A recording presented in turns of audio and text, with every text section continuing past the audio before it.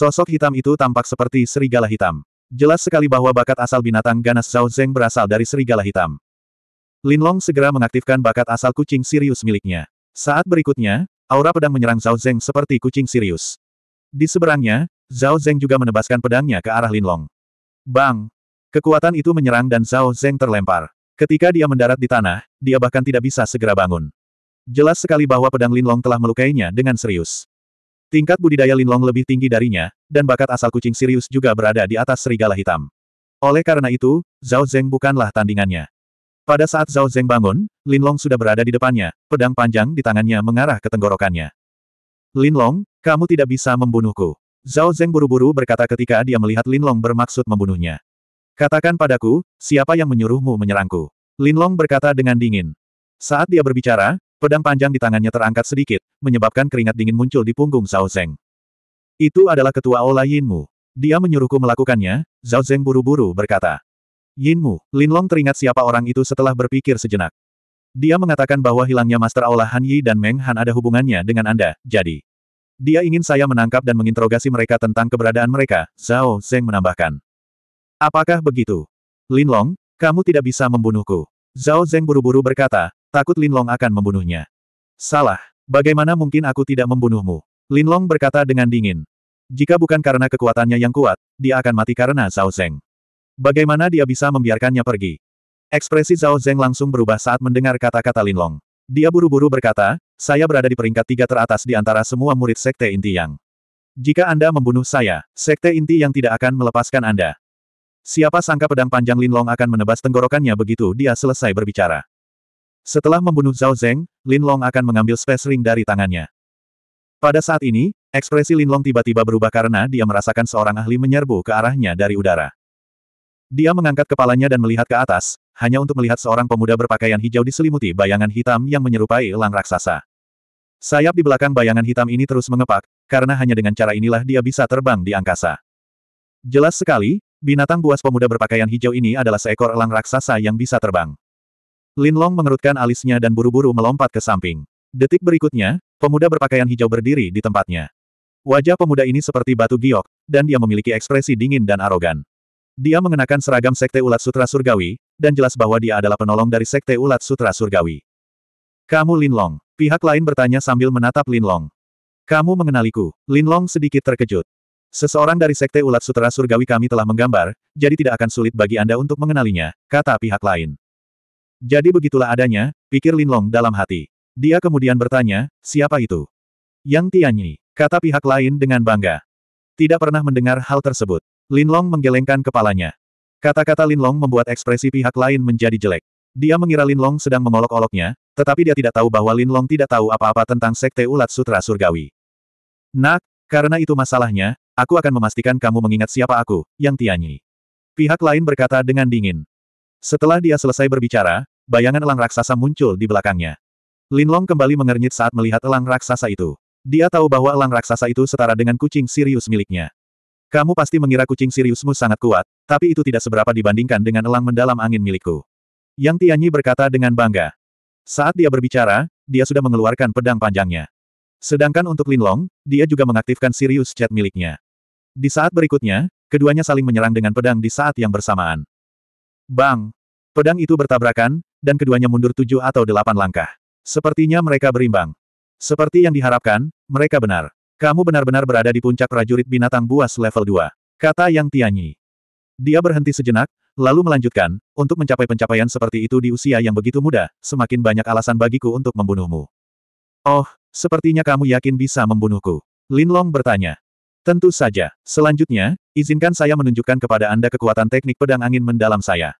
Yang Tianyi berkata dengan bangga. Begitu dia selesai berbicara, Yang Tianyi segera mengambil posisi bertarung. Lin Long kembali mengernyit saat mendengar kata-kata lawannya. Ini karena dia tahu bahwa teknik pedang angin mendalam adalah teknik pedang tingkat bumi tingkat menengah, tetapi teknik itu jauh lebih kuat daripada teknik pedang nimbus miliknya. Saat berikutnya, Yang Tianyi segera menyerangnya dengan pedangnya. Adapun Lin Long, dia juga menggunakan teknik pedang nimbus miliknya.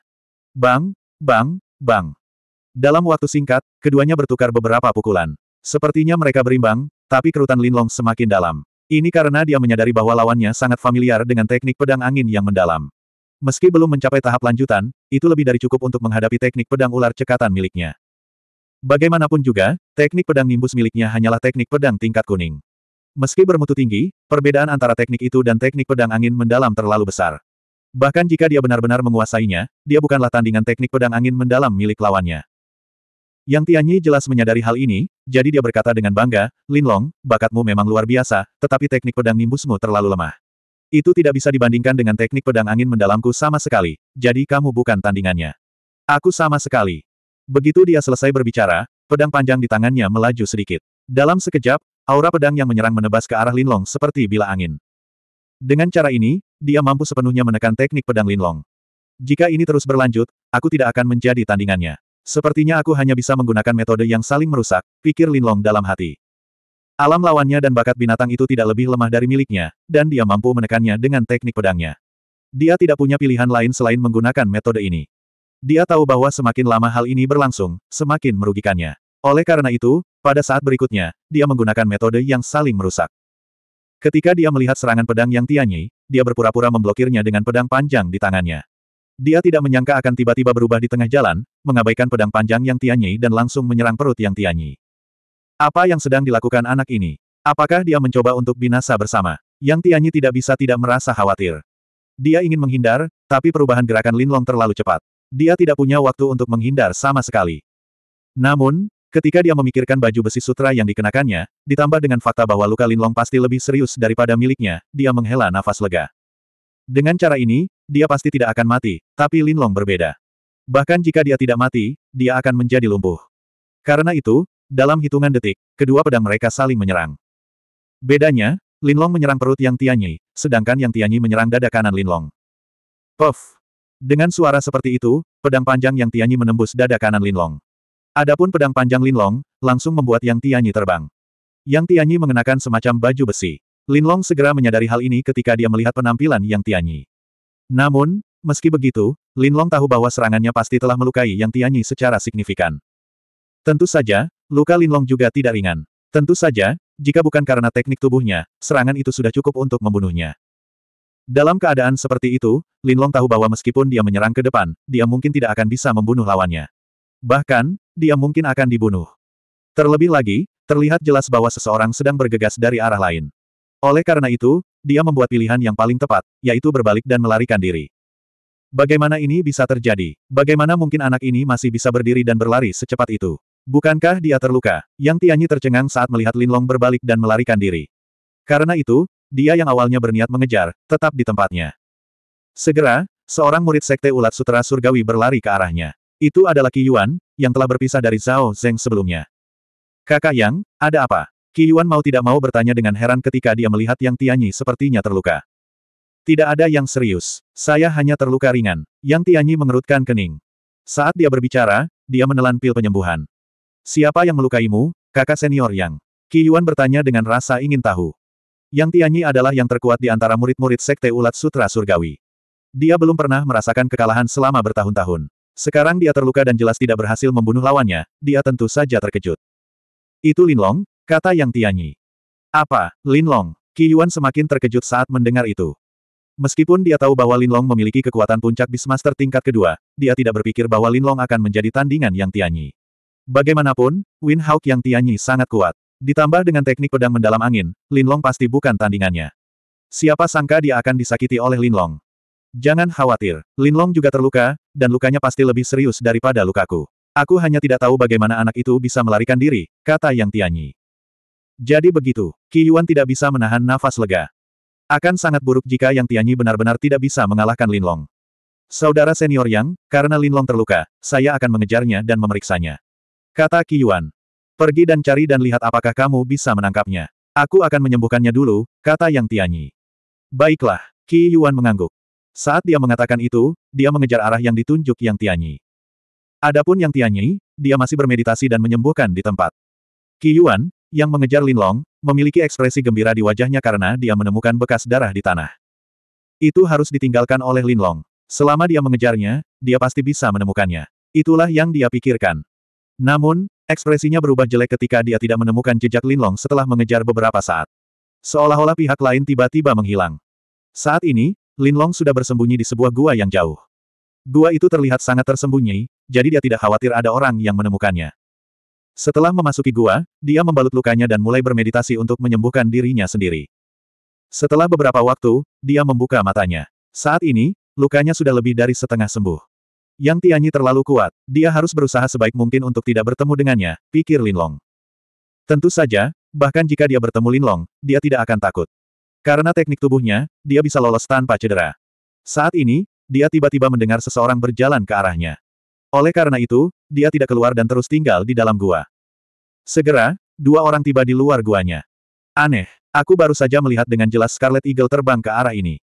Kenapa aku tidak bisa menemukannya setelah mencari sekian lama? Salah satu dari mereka tiba-tiba berkata. Saya pikir itu dekat. Mari kita lihat baik-baik, kata orang lain. Baiklah, kata orang pertama lagi. Tak lama kemudian, mereka meninggalkan tempat itu. Sepertinya mereka pergi mencari Scarlet Eagle. Elang merah. Mata Linlong berbinar saat dia mengulangi nama itu berulang kali. Ini karena dia ingat bahwa meskipun Scarlet Eagle adalah binatang buas kelas 2, ia memiliki garis keturunan kelas menengah. Karena ia adalah binatang terbang, setelah memperoleh kemampuan bawaan elang merah, ia pasti bisa terbang di langit seperti yang Tianyi. Begitu ia bisa terbang, ia akan memiliki keuntungan lebih besar dibandingkan orang lain di dunia rahasia. Karena pesawat di rune spatial ring tidak bisa dikeluarkan, Linlong tidak bisa terbang di langit sama sekali. Dia mengikuti mereka untuk melihat apakah dia bisa mendapatkan garis keturunan Scarlet Eagle. Dengan pemikiran seperti itu, Linlong segera keluar dari gua dan mengikuti mereka. Setelah mengikuti kedua orang itu, dia menyadari bahwa mereka adalah murid dari Sekte Scarlet Phoenix. Sambil mengikuti mereka, Linlong juga melepaskan tikus bambu itu untuk melihat apakah ia bisa merasakan buah darah hitam lainnya. Mereka berdua terus mencari di sekitar, tetapi setelah lama mencari, mereka masih tidak dapat menemukan apa yang disebut Scarlet Eagle. Mungkinkah keduanya salah? Tidak ada Scarlet Eagle sama sekali di sini. Linlong berpikir dalam hati. Binatang buas seperti Scarlet Eagle sangatlah langka. Karena itu adalah binatang buas kelas 2, ia mudah untuk ditangani. Hampir setiap orang yang melihatnya akan berusaha semaksimal mungkin untuk mengabadikannya. Oleh karena itu, dalam keadaan normal, akan lebih sulit untuk menemukannya. Sutong, apakah kamu salah lihat? Salah satu dari keduanya mau tidak mau berkata kepada yang lain setelah lama tidak menemukan Scarlet Eagle. Tidak, saya tidak salah melihat, kata pemuda bernama Sutong dengan pasti. Kalau begitu ayo kita lanjutkan pencarian. Kalau kita tidak bisa menemukannya, kita akan bertemu dengan kakak-kakak senior dan junior lainnya, kata orang lain. Baiklah, Sutong mengangguk. Segera, mereka berdua melanjutkan pencarian di sekitar. Saat mencari, mereka akan melihat ke langit dari waktu ke waktu untuk melihat elang merah muncul di langit dari waktu ke waktu. Setelah beberapa saat, suara kicau aneh tiba-tiba datang dari jauh, dan sangat berirama. Mendengar suara kicau tersebut, keduanya langsung berseru kegirangan. Sepertinya mereka menemukan Scarlet Eagle. Ayo cepat. Usai berkata begitu, keduanya berlari kencang menuju arah suara kicau tersebut. Adapun Linlong, dia secara alami mengikuti di belakang mereka berdua. 1722 Setelah berjalan selama beberapa waktu untuk minum secangkir teh, Linlong mengikuti kedua pria itu ke puncak gunung. Dari jauh, Linlong bisa melihat ada banyak orang di gunung itu. Ketika dia semakin dekat, dia menyadari bahwa mereka jelas-jelas berasal dari Sekte Scarlet Phoenix. Setelah tiba di puncak gunung, Linlong dan dua pria lainnya bertemu dengan orang lain. Kamu di sini, kata orang itu kepada kedua pria itu. Meng San, bagaimana situasinya sekarang? Salah satu dari dua pria itu bertanya. Baru saja, kakak tertua dan yang lainnya melihat elang merah berputar-putar di atas gunung ini. Dari perilakunya, gunung ini pasti menjadi sarang elang merah, dan pasti ada anak elang merah. Kakak tertua, mari kita cari sarangnya dengan segenap kekuatan kita. Selama kita menemukan sarang dan anak-anaknya, kita tidak perlu khawatir elang merah tidak akan muncul. Kata pria bernama Meng San. Apakah begitu? Baiklah, kalian berdua harus bergabung dengan kami. Ayo kita cari bersama dan kita akan segera menemukan sarang elang merah, kata Meng San. Segera, mereka bertiga mengikuti yang lain untuk mencari sarang elang merah di puncak gunung. Linlong tidak mengikuti ketiga pria itu. Sebaliknya, dia berkeliaran di sekitar puncak gunung dan menemukan bahwa ada banyak murid sekte Scarlet Phoenix di puncak gunung. Tampaknya lebih dari separuh murid sekte telah datang ke sini. Kalau terus begini, orang-orang ini pasti akan menemukan sarang elang merah. Ketika itu terjadi, jumlah mereka akan melebihiku dan akan sulit bagiku untuk merebut garis keturunan bakat Scarlet Eagle. Linlong tidak bisa menahan cemberut saat melihat ini. Setelah memikirkannya, dia memutuskan untuk memikat murid-murid Sekte Scarlet Yang dan membiarkan mereka bertarung demi Scarlet Eagle. Kemudian, dia akan memiliki kesempatan untuk mendapatkan keuntungan. Saat itulah ia menemukan tempat kosong, lalu mengeluarkan alat sinyal yang terbuat dari tabung bambu, lalu melepaskan kembang api di dalamnya. Bang! Dengan suara seperti itu, kembang api bermekaran di kekosongan di atas kepalanya. Murid biasa dari Sekte Scarlet yang tidak memiliki alat seperti itu. Dia mendapatkannya dari cincin spasial Zhao Zeng. Apa yang sedang terjadi? Begitu mereka mendengar suara kembang api dan melihat ke langit, murid-murid Sekte Scarlet Phoenix di puncak gunung segera memasang ekspresi jelek. Itu adalah sinyal dari Sekte Scarlet yang. Orang yang melihat ini langsung berteriak. Ada orang-orang dari Sekte dan yang di gunung ini. Mereka melihat kami mencari sarang elang merah. Pemikiran seperti itu terlintas di hati orang-orang dari Sekte Phoenix Merah. Di puncak gunung, seorang pemuda dengan alis lebat langsung berubah muram. Dia memandang orang-orang di sampingnya dan berkata, apa yang terjadi? Bukankah aku sudah memberitahumu untuk mengawasi kami? Mengapa kami tidak tahu bahwa seseorang dari sekte dan yang ada di samping kami? Kakak tertua, kami benar-benar tidak memperhatikan siapa pun dari dua sekte lain di sekitar. Seseorang di samping pemuda beralis lebat itu mau tak mau berkata. Kakak tertua, percuma membicarakan hal ini sekarang. Kita hanya bisa menemukan sarang elang merah-merah secepat mungkin untuk mencegah orang-orang dari sekte dan yang merebutnya dari kita. Orang lain menyarankan. Kalian bertiga, pergi dan cari juga. Suruh mereka mempercepat pencarian. Perintah pemuda beralis tebal itu. Segera, tiga orang di sampingnya buru-buru turun. Namun, setelah lama mencari, mereka tetap tidak dapat menemukan sarang elang merah. Tidak apa-apa jika mereka tidak dapat menemukannya, tetapi terlihat jelas bahwa ada banyak orang di sekitar gunung. Mereka memperhatikan bahwa orang-orang dari sekte dan yang bukan satu-satunya yang ada di sini. Beberapa orang dari sekte ulat sutera surgawi juga ada di sini. Ini tidak mengejutkan Linlong. Lagi pula, jika orang-orang dari sekte dan yang dapat melihat sinyalnya, orang-orang dari sekte ulat sutera surgawi juga bisa melihat sinyalnya. Itu normal bagi mereka untuk mengejar sinyal karena mereka tidak menemukan buah darah hitam lainnya. Orang-orang dari sekte dan yang berada tepat di depan Linlong. Linlong memperhatikan bahwa Hu Fei bukan satu-satunya yang datang. Sima Jian juga ada di sini. Sepertinya mereka membawa sisa orang dari sekte dan yang bersama mereka. Di sisi lain, Linlong memperhatikan Yang Mo dan kakak senior Xiong yang mengejarnya sebelumnya. Setelah beberapa kali melirik, Linlong tidak bisa menahan cemberut karena dia melihat seseorang turun dari langit. Yang Tianyilah yang telah melukainya sebelumnya. Linlong berpikir dalam hati, aku tidak menyangka sinyalku akan membuat tempat ini begitu semarak. Pada saat ini, pemuda beralis lebat di puncak gunung juga melihat situasinya. Sepertinya akan sulit mendapatkan garis keturunan bakat Scarlet Red Hawk. Pemuda beralis lebat itu berkata sambil mengerutkan kening. Di sisi Sekte dan Yang, seorang pemuda bergegas ke depan Sima Jian. Bagaimana? Apakah kamu menemukan murid yang mengirimkan sinyal? Sima Jian langsung bertanya. Tidak, pria muda itu menggelengkan kepalanya.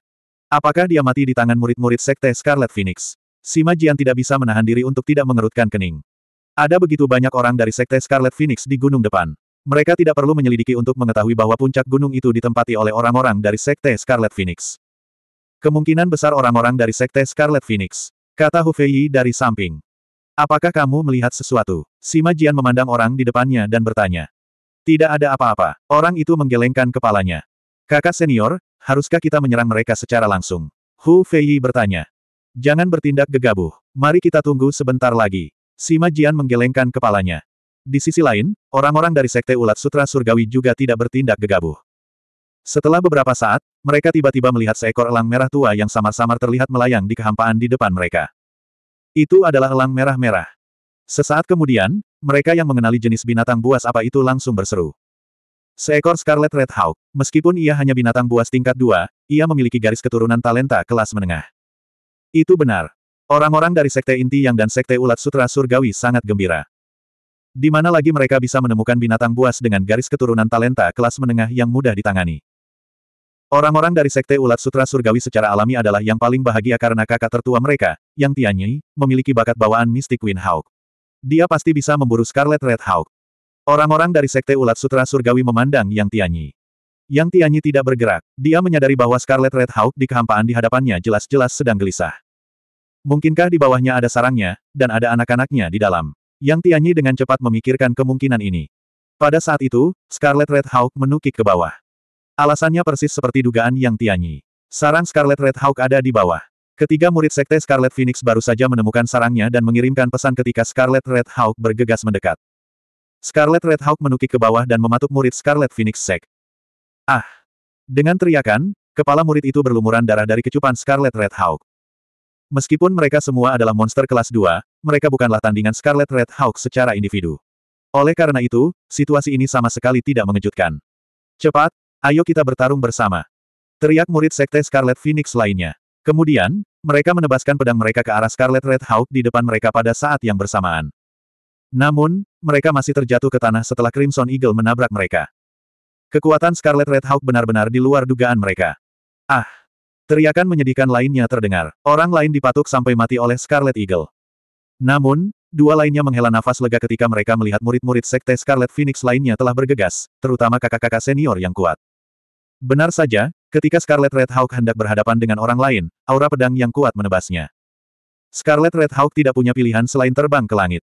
Saat ini, sudah ada tujuh atau delapan murid Sekte Scarlet Phoenix di bawahnya. Apalagi ketiganya sangat kuat. Meskipun Scarlet Red Hawk tahu bahwa ia tidak dapat menyelamatkan anaknya, ia tetap tidak mau menyerah dan terus menerkam orang-orang di bawah. Begitu ia mengelak, tujuh atau delapan semburan energi segera menyerangnya. Meskipun ia mengandalkan keterampilan terbangnya yang kuat untuk menghindar, ia masih terkena dua ki kekuatan. Ayo cepat, kita tidak akan bisa mendapatkan Scarlet Red Hawk jika kita terlambat. Anggota Sekte Ulat Sutra Surgawi dan Sekte Dan yang secara alami melihat pemandangan ini. Di bawah perintah Yang Tianyi dan Si Majian, mereka semua bergegas menuju tempat di mana Scarlet Eagle dan anggota Sekte Scarlet Phoenix bertarung. Yang Tianyi, khususnya, terbang di atas kepala Scarlet Red Hawk dan kemudian langsung mendarat. Saat dia mendarat, dia mengirim murid Scarlet Phoenix Sekte terbang. Yang Tianyi, beraninya kamu menyakiti seseorang dari Sekte Scarlet Phoenixku. Pemuda beralis tebal yang baru saja bergegas mendekat meraung dan menebas Yang Tianyi dengan pedangnya. Dalam sekejap, keduanya terlibat dalam pertarungan sengit. Kemudian, yang lain juga mengepung mereka. Dengan tambahan Scarlet Red Hawk, pemandangan menjadi sangat kacau. Dari situasinya, Linlong tahu bahwa Sekte dan Yang adalah yang terlemah. Yang terkuat adalah orang-orang dari Sekte Ulat Sutera Surgawi. Awalnya, Sekte dan Yang sedikit lebih lemah. Setelah kehilangan Zhao Zeng, mereka secara alami menjadi lebih lemah. Tentu saja, karena ini adalah pertarungan tiga arah, tidak peduli siapa yang lebih kuat atau lebih lemah.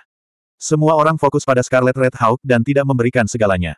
Setelah beberapa saat, seseorang membunuh semua anak Scarlet Red Hawk dengan satu serangan pedang. Semua orang mengira ini akan membuat marah Scarlet Red Hawk. Mereka tidak menyangka Scarlet Red Hawk akan berbalik dan terbang. Pada titik ini, Scarlet Red Hawk sudah penuh dengan luka. Yang tidak disangka penonton adalah ia benar-benar melepaskan diri dari dua orang yang menghalanginya dan terbang ke kehampaan di atas. Lin Long menyadari bahwa selama proses ini, Yang Tianyi bisa saja menyerangnya secara langsung. Namun, dia tidak melakukannya. Lin Long tentu saja tahu alasannya. Jika Yang Tianyi menyerangnya secara langsung, Scarlet Red Hawk pasti akan jatuh dan direnggut oleh orang lain. Oleh karena itu, lebih baik membiarkan Scarlet Red Hawk pergi. Dengan begitu, dia bisa menggunakan kemampuan terbangnya untuk mengejar Scarlet Red Hawk dan mencegah orang lain merebutnya. Benar saja, setelah Scarlet Red Hawk terbang, Yang Tianyi mengejarnya. Mengejar. Yang lain tidak mau menyerah. Melihat Scarlet Red Hawk pergi, mereka semua meraung dan mengejarnya. Dalam sekejap, lebih dari 200 orang mengejar Scarlet Red Hawk di langit. Bagaimana orang-orang ini bisa mengejarku, Yang Tianyi? Yang Tianyi berpikir sendiri sambil melihat orang-orang di bawahnya. Semakin jauh Scarlet Red Hawk terbang, semakin sulit bagi orang lain untuk merebutnya. Oleh karena itu, meskipun dia bisa mengejarnya dengan segera, dia tidak melakukannya. Sebaliknya, dia tertinggal di belakang Scarlet Red Hawk. Setelah Scarlet Red Hawk benar-benar mengusir orang-orang di belakangnya, dia akan bergegas maju untuk menghadapinya. Namun, setelah mengejar beberapa saat, ekspresinya tiba-tiba berubah. Ini karena dia menyadari bahwa Scarlet Red Hawk sebenarnya sedang menyelam ke bawah. Jika di bawahnya adalah hutan biasa, itu bukan masalah besar. Namun, hutan di bawahnya jelas tertutup kabut tebal. Jika Scarlet Red Hawk bersembunyi di suatu tempat, akan sulit baginya untuk menemukannya. Oleh karena itu, dia buru-buru meningkatkan kecepatannya untuk mengejar ketinggalan. Namun, dia masih terlalu lambat. Scarlet Red Hawk telah berlari ke dalam kabut di bawah, jadi dia hanya bisa berlari ke dalam kabut. Begitu dia memasuki kabut, dia menyadari bahwa dia tidak bisa melihat sekelilingnya sama sekali. Dia hanya bisa mengandalkan suara dan telekinesis ilahi untuk mengejarnya. Setelah mengejar beberapa saat, dia terkejut lagi. Ini karena dia menyadari bahwa ada sebuah lembah di depannya, dan di lembah ini, ada sebuah istana yang sangat besar. Pada saat ini, dia dapat dengan jelas melihat bahwa Scarlet Red Hawk sedang terbang menuju istana. Dia buru-buru mengejarnya. Ketika dia sampai di pintu masuk istana, dia menyadari bahwa Scarlet Red Hawk telah terbang ke dalam istana. Tanpa berpikir panjang, dia mengikutinya. Setelah masuk, dia menyadari bahwa itu jelas merupakan tempat yang mirip labirin, dan Scarlet Red Hawk tidak dapat ditemukan. Dia tidak berani mengejarnya secara membabi buta, jadi dia tetap di tempatnya. Pada saat itulah orang lain bergegas masuk dari luar. Yang mengejutkannya adalah orang tersebut adalah Linlong, yang terluka oleh pedangnya dan seharusnya sudah mati. Kenapa sepertinya tidak terjadi apa-apa padamu? Dia tidak bisa menahan diri untuk tidak menatap Linlong. Karena aku beruntung, kata Linlong santai. Beruntung, Yang Tianyi tidak berpikir demikian. Dia masih ingat dengan jelas di mana dia menikam dengan pedangnya. Namun, dia tidak mengatakan apa pun lagi. Dia juga berencana untuk melawan Linlong karena bertarung di tempat ini jelas akan memberikan kesempatan kepada orang lain. Oleh karena itu, dia mengabaikan Linlong dan mengamati sekelilingnya dengan cermat. Adapun Linlong, hal yang sama terjadi padanya. Setelah beberapa saat, terjadi pergerakan lagi di luar. Segera, orang lain menyerbu masuk. Orang ini adalah pemuda beralis tebal yang pernah bertarung dengan Yang Tianyi sebelumnya. Zheng Ge juga ada di sini. Yang Tianyi mengerutkan kening saat melihat pemuda itu. Istana ini besar sekali. Bukankah mudah menemukan tempat ini? Pemuda bernama Zheng Ge mengejek. Itu semua berkat istana ini. Kalau tidak, akan sangat sulit baginya untuk mengejar Yang Tianyi. Setelah itu, dia melihat ke arah Linlong dan bertanya, Hem, siapa itu? Dia secara alami dapat melihat bahwa Linlong mengenakan seragam sekte dan Yang, tetapi dia tidak mengerti di mana sekte dan Yang menemukan orang seperti itu untuk dapat mengejar Yang Tianyi di hadapannya. Bagaimanapun, orang terkuat di sekte dan Yang, si Majian, belum bisa mengejar ketinggalan. Dia bukan siapa-siapa dari Sekte dan Yang. Linlong tersenyum acuh tak acuh. Jangan meremehkan Linlong. Dia adalah praktisi binatang buas kelas 2, yang Tianyi tiba-tiba berkata. Seorang praktisi binatang kelas 2 puncak. Zheng Ge tidak bisa menahan diri untuk tidak melebarkan matanya ketika mendengar kata-kata yang Tianyi. Dia kemudian berkata dengan heran, kapan Sekte dan yang memiliki ahli seperti itu? Hanya murid dari Sekte Ulat Sutra Surgawi yang tahu bahwa Linlong memiliki kekuatan seperti itu. Sebagai kakak laki-laki dari Sekte Scarlet Phoenix, dia tentu saja tidak tahu. 1723. Dia murid baru dari Sekte dan Yang, Yang Tianyi menambahkan. Murid baru, Zheng Ge tercengang. Seorang murid baru sekuat itu. Pikiran itu terlintas di benaknya. Lin Long mengabaikan mereka berdua dan berjalan menuju terowongan di depannya. Karena terlihat seperti labirin, tentu saja ada banyak terowongan di depannya. Zheng Ge dan Yang Tianyi tidak mengikuti. Setelah bertukar pandang, Zheng Ge berkata, Apakah Lin Long familiar dengan labirin ini? Saya tidak tahu, Yang Tianyi menggelengkan kepalanya. Tiba-tiba terdengar langkah kaki lagi dari luar. Segera, seseorang berjalan ke sisinya. Orang ini tidak lain adalah orang terkuat di sekte dan Yang, si Majian. Cek-cek, aku tidak menyangka tiga jenius dari tiga sekte akan bertemu di sini. Yang Tianyi tersenyum pada si Majian. Dilihat dari penampilanmu, Scarlet Eagle bersembunyi di sini, kan? Si Majian bertanya. Ini, aku tidak akan memberitahumu. Senyuman misterius muncul di wajah Yang Tianyi. Tiba-tiba, dia sepertinya menemukan sesuatu di dinding batu terowongan di depan. Segera, dia berlari ke arah itu. Ketika dia sampai di depan dinding batu, dia menemukan sebuah pola di atasnya. Ini adalah labirin empat ritus. Melihat polanya, dia langsung sangat gembira. Dia telah melakukan kontak dan memahami labirin empat ritus, jadi dia tentu saja bahagia. Dia tidak mengatakan apa pun dan mundur. Setelah melirik keluar beberapa kali, dia berlari ke terowongan di sebelah kiri. Apakah dia menemukan sesuatu? Kata si Majian dan segera berlari menuju terowongan. Zheng Ge juga mengikuti di belakangnya. Tak lama kemudian, mereka juga melihat polanya. Ini labirin empat ritus. Zheng Ge berseru. Dia juga telah melakukan kontak dengan labirin empat ritus, jadi dia bisa mengetahuinya secara sekilas. Mengetahui bahwa dia telah mengeluarkan kucing itu dari tasnya, dia mengerutkan kening dan mundur seperti yang Tianyi. Setelah melirik keluar beberapa kali, dia berlari menuju terowongan yang berbeda dari terowongan yang Tianyi. Sepertinya yang Tianyi belum menguasainya. Karena ini adalah labirin empat ritus, bagaimana terowongan itu bisa dibersihkan? Zheng Ge berpikir. Adapun si Majian, dia juga mundur, tapi dia tidak mengikuti keduanya. Miao Ren sangat akrab dengan labirin empat ritus, jadi dia harus tahu cara menuju ke sana. Aku akan menunggunya di luar. Mengingat hal itu, si Majian meninggalkan ruangan.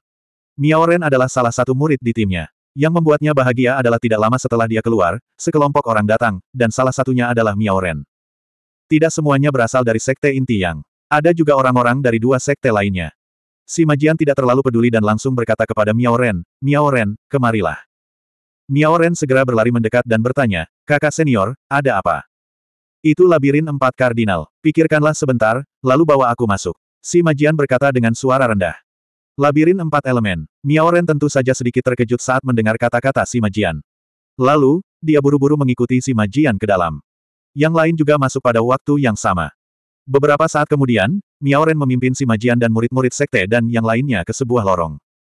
Bagian ini jelas berbeda dari yang pernah dimasuki Yang Tianyi dan Zheng Ge sebelumnya. Keduanya jelas-jelas salah jalan, seolah-olah aku tidak mengikuti di belakang mereka, pikir si Majian. Dia jelas lebih mempercayai Miao Ren. Sedangkan yang lainnya, beberapa dari mereka menunggu lama sebelum mengikuti di belakang si Majian dan yang lainnya. Alasannya tentu saja karena mereka takut si Majian dan orang-orang sekte dan yang lainnya akan menyerang mereka. Lagi pula, dengan adanya si Majian, mereka sama sekali bukan tandingan orang-orang sekte dan yang. Adapun yang lainnya, mereka memasuki bagian lain. Beberapa dari mereka juga mengetahui tentang labirin empat elemen. Lin Long tidak tahu tentang labirin empat elemen. Alasan dia masuk lebih dulu adalah karena tikus bambunya. Dia percaya bahwa tikus bambu seharusnya bisa menemukan elang merah di labirin. Tadi, saat orang-orang itu bertarung sengit, dia diam-diam melepaskan tikus bambu itu agar bisa mengingat aroma Scarlet Eagle. Benar saja, setelah memasuki labirin dan melepaskan tikus bambu, tikus bambu tersebut langsung merasakan lokasi elang merah. Namun, yang membuatnya tertekan adalah setelah berjalan beberapa saat, ia menyadari bahwa ia sebenarnya telah menemui jalan buntu. Merasa tidak berdaya, dia hanya bisa kembali menyusuri jalan dan menunggu persimpangan jalan sebelum memilih arah lain. Namun, setelah berjalan beberapa saat, dia menyadari bahwa dia telah memasuki jalan buntu lagi, jadi dia hanya bisa kembali menyusuri jalan tersebut.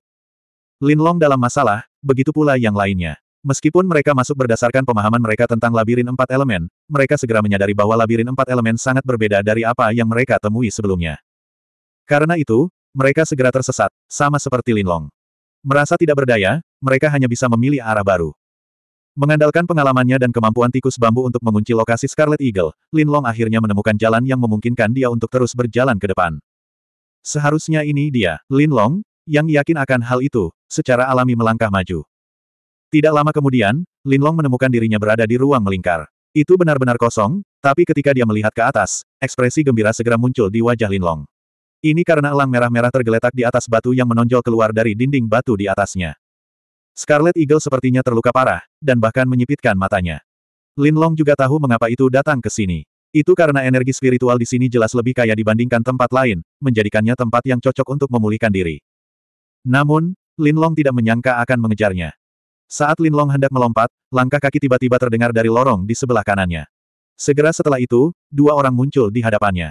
Itu adalah si Majian dan Miao Ren. Sedangkan yang lainnya, mereka tidak mengikuti di belakang mereka karena suatu alasan. Tanpa ragu sedikit pun, Lin Long terbang dan dengan cepat sampai di sisi elang merah.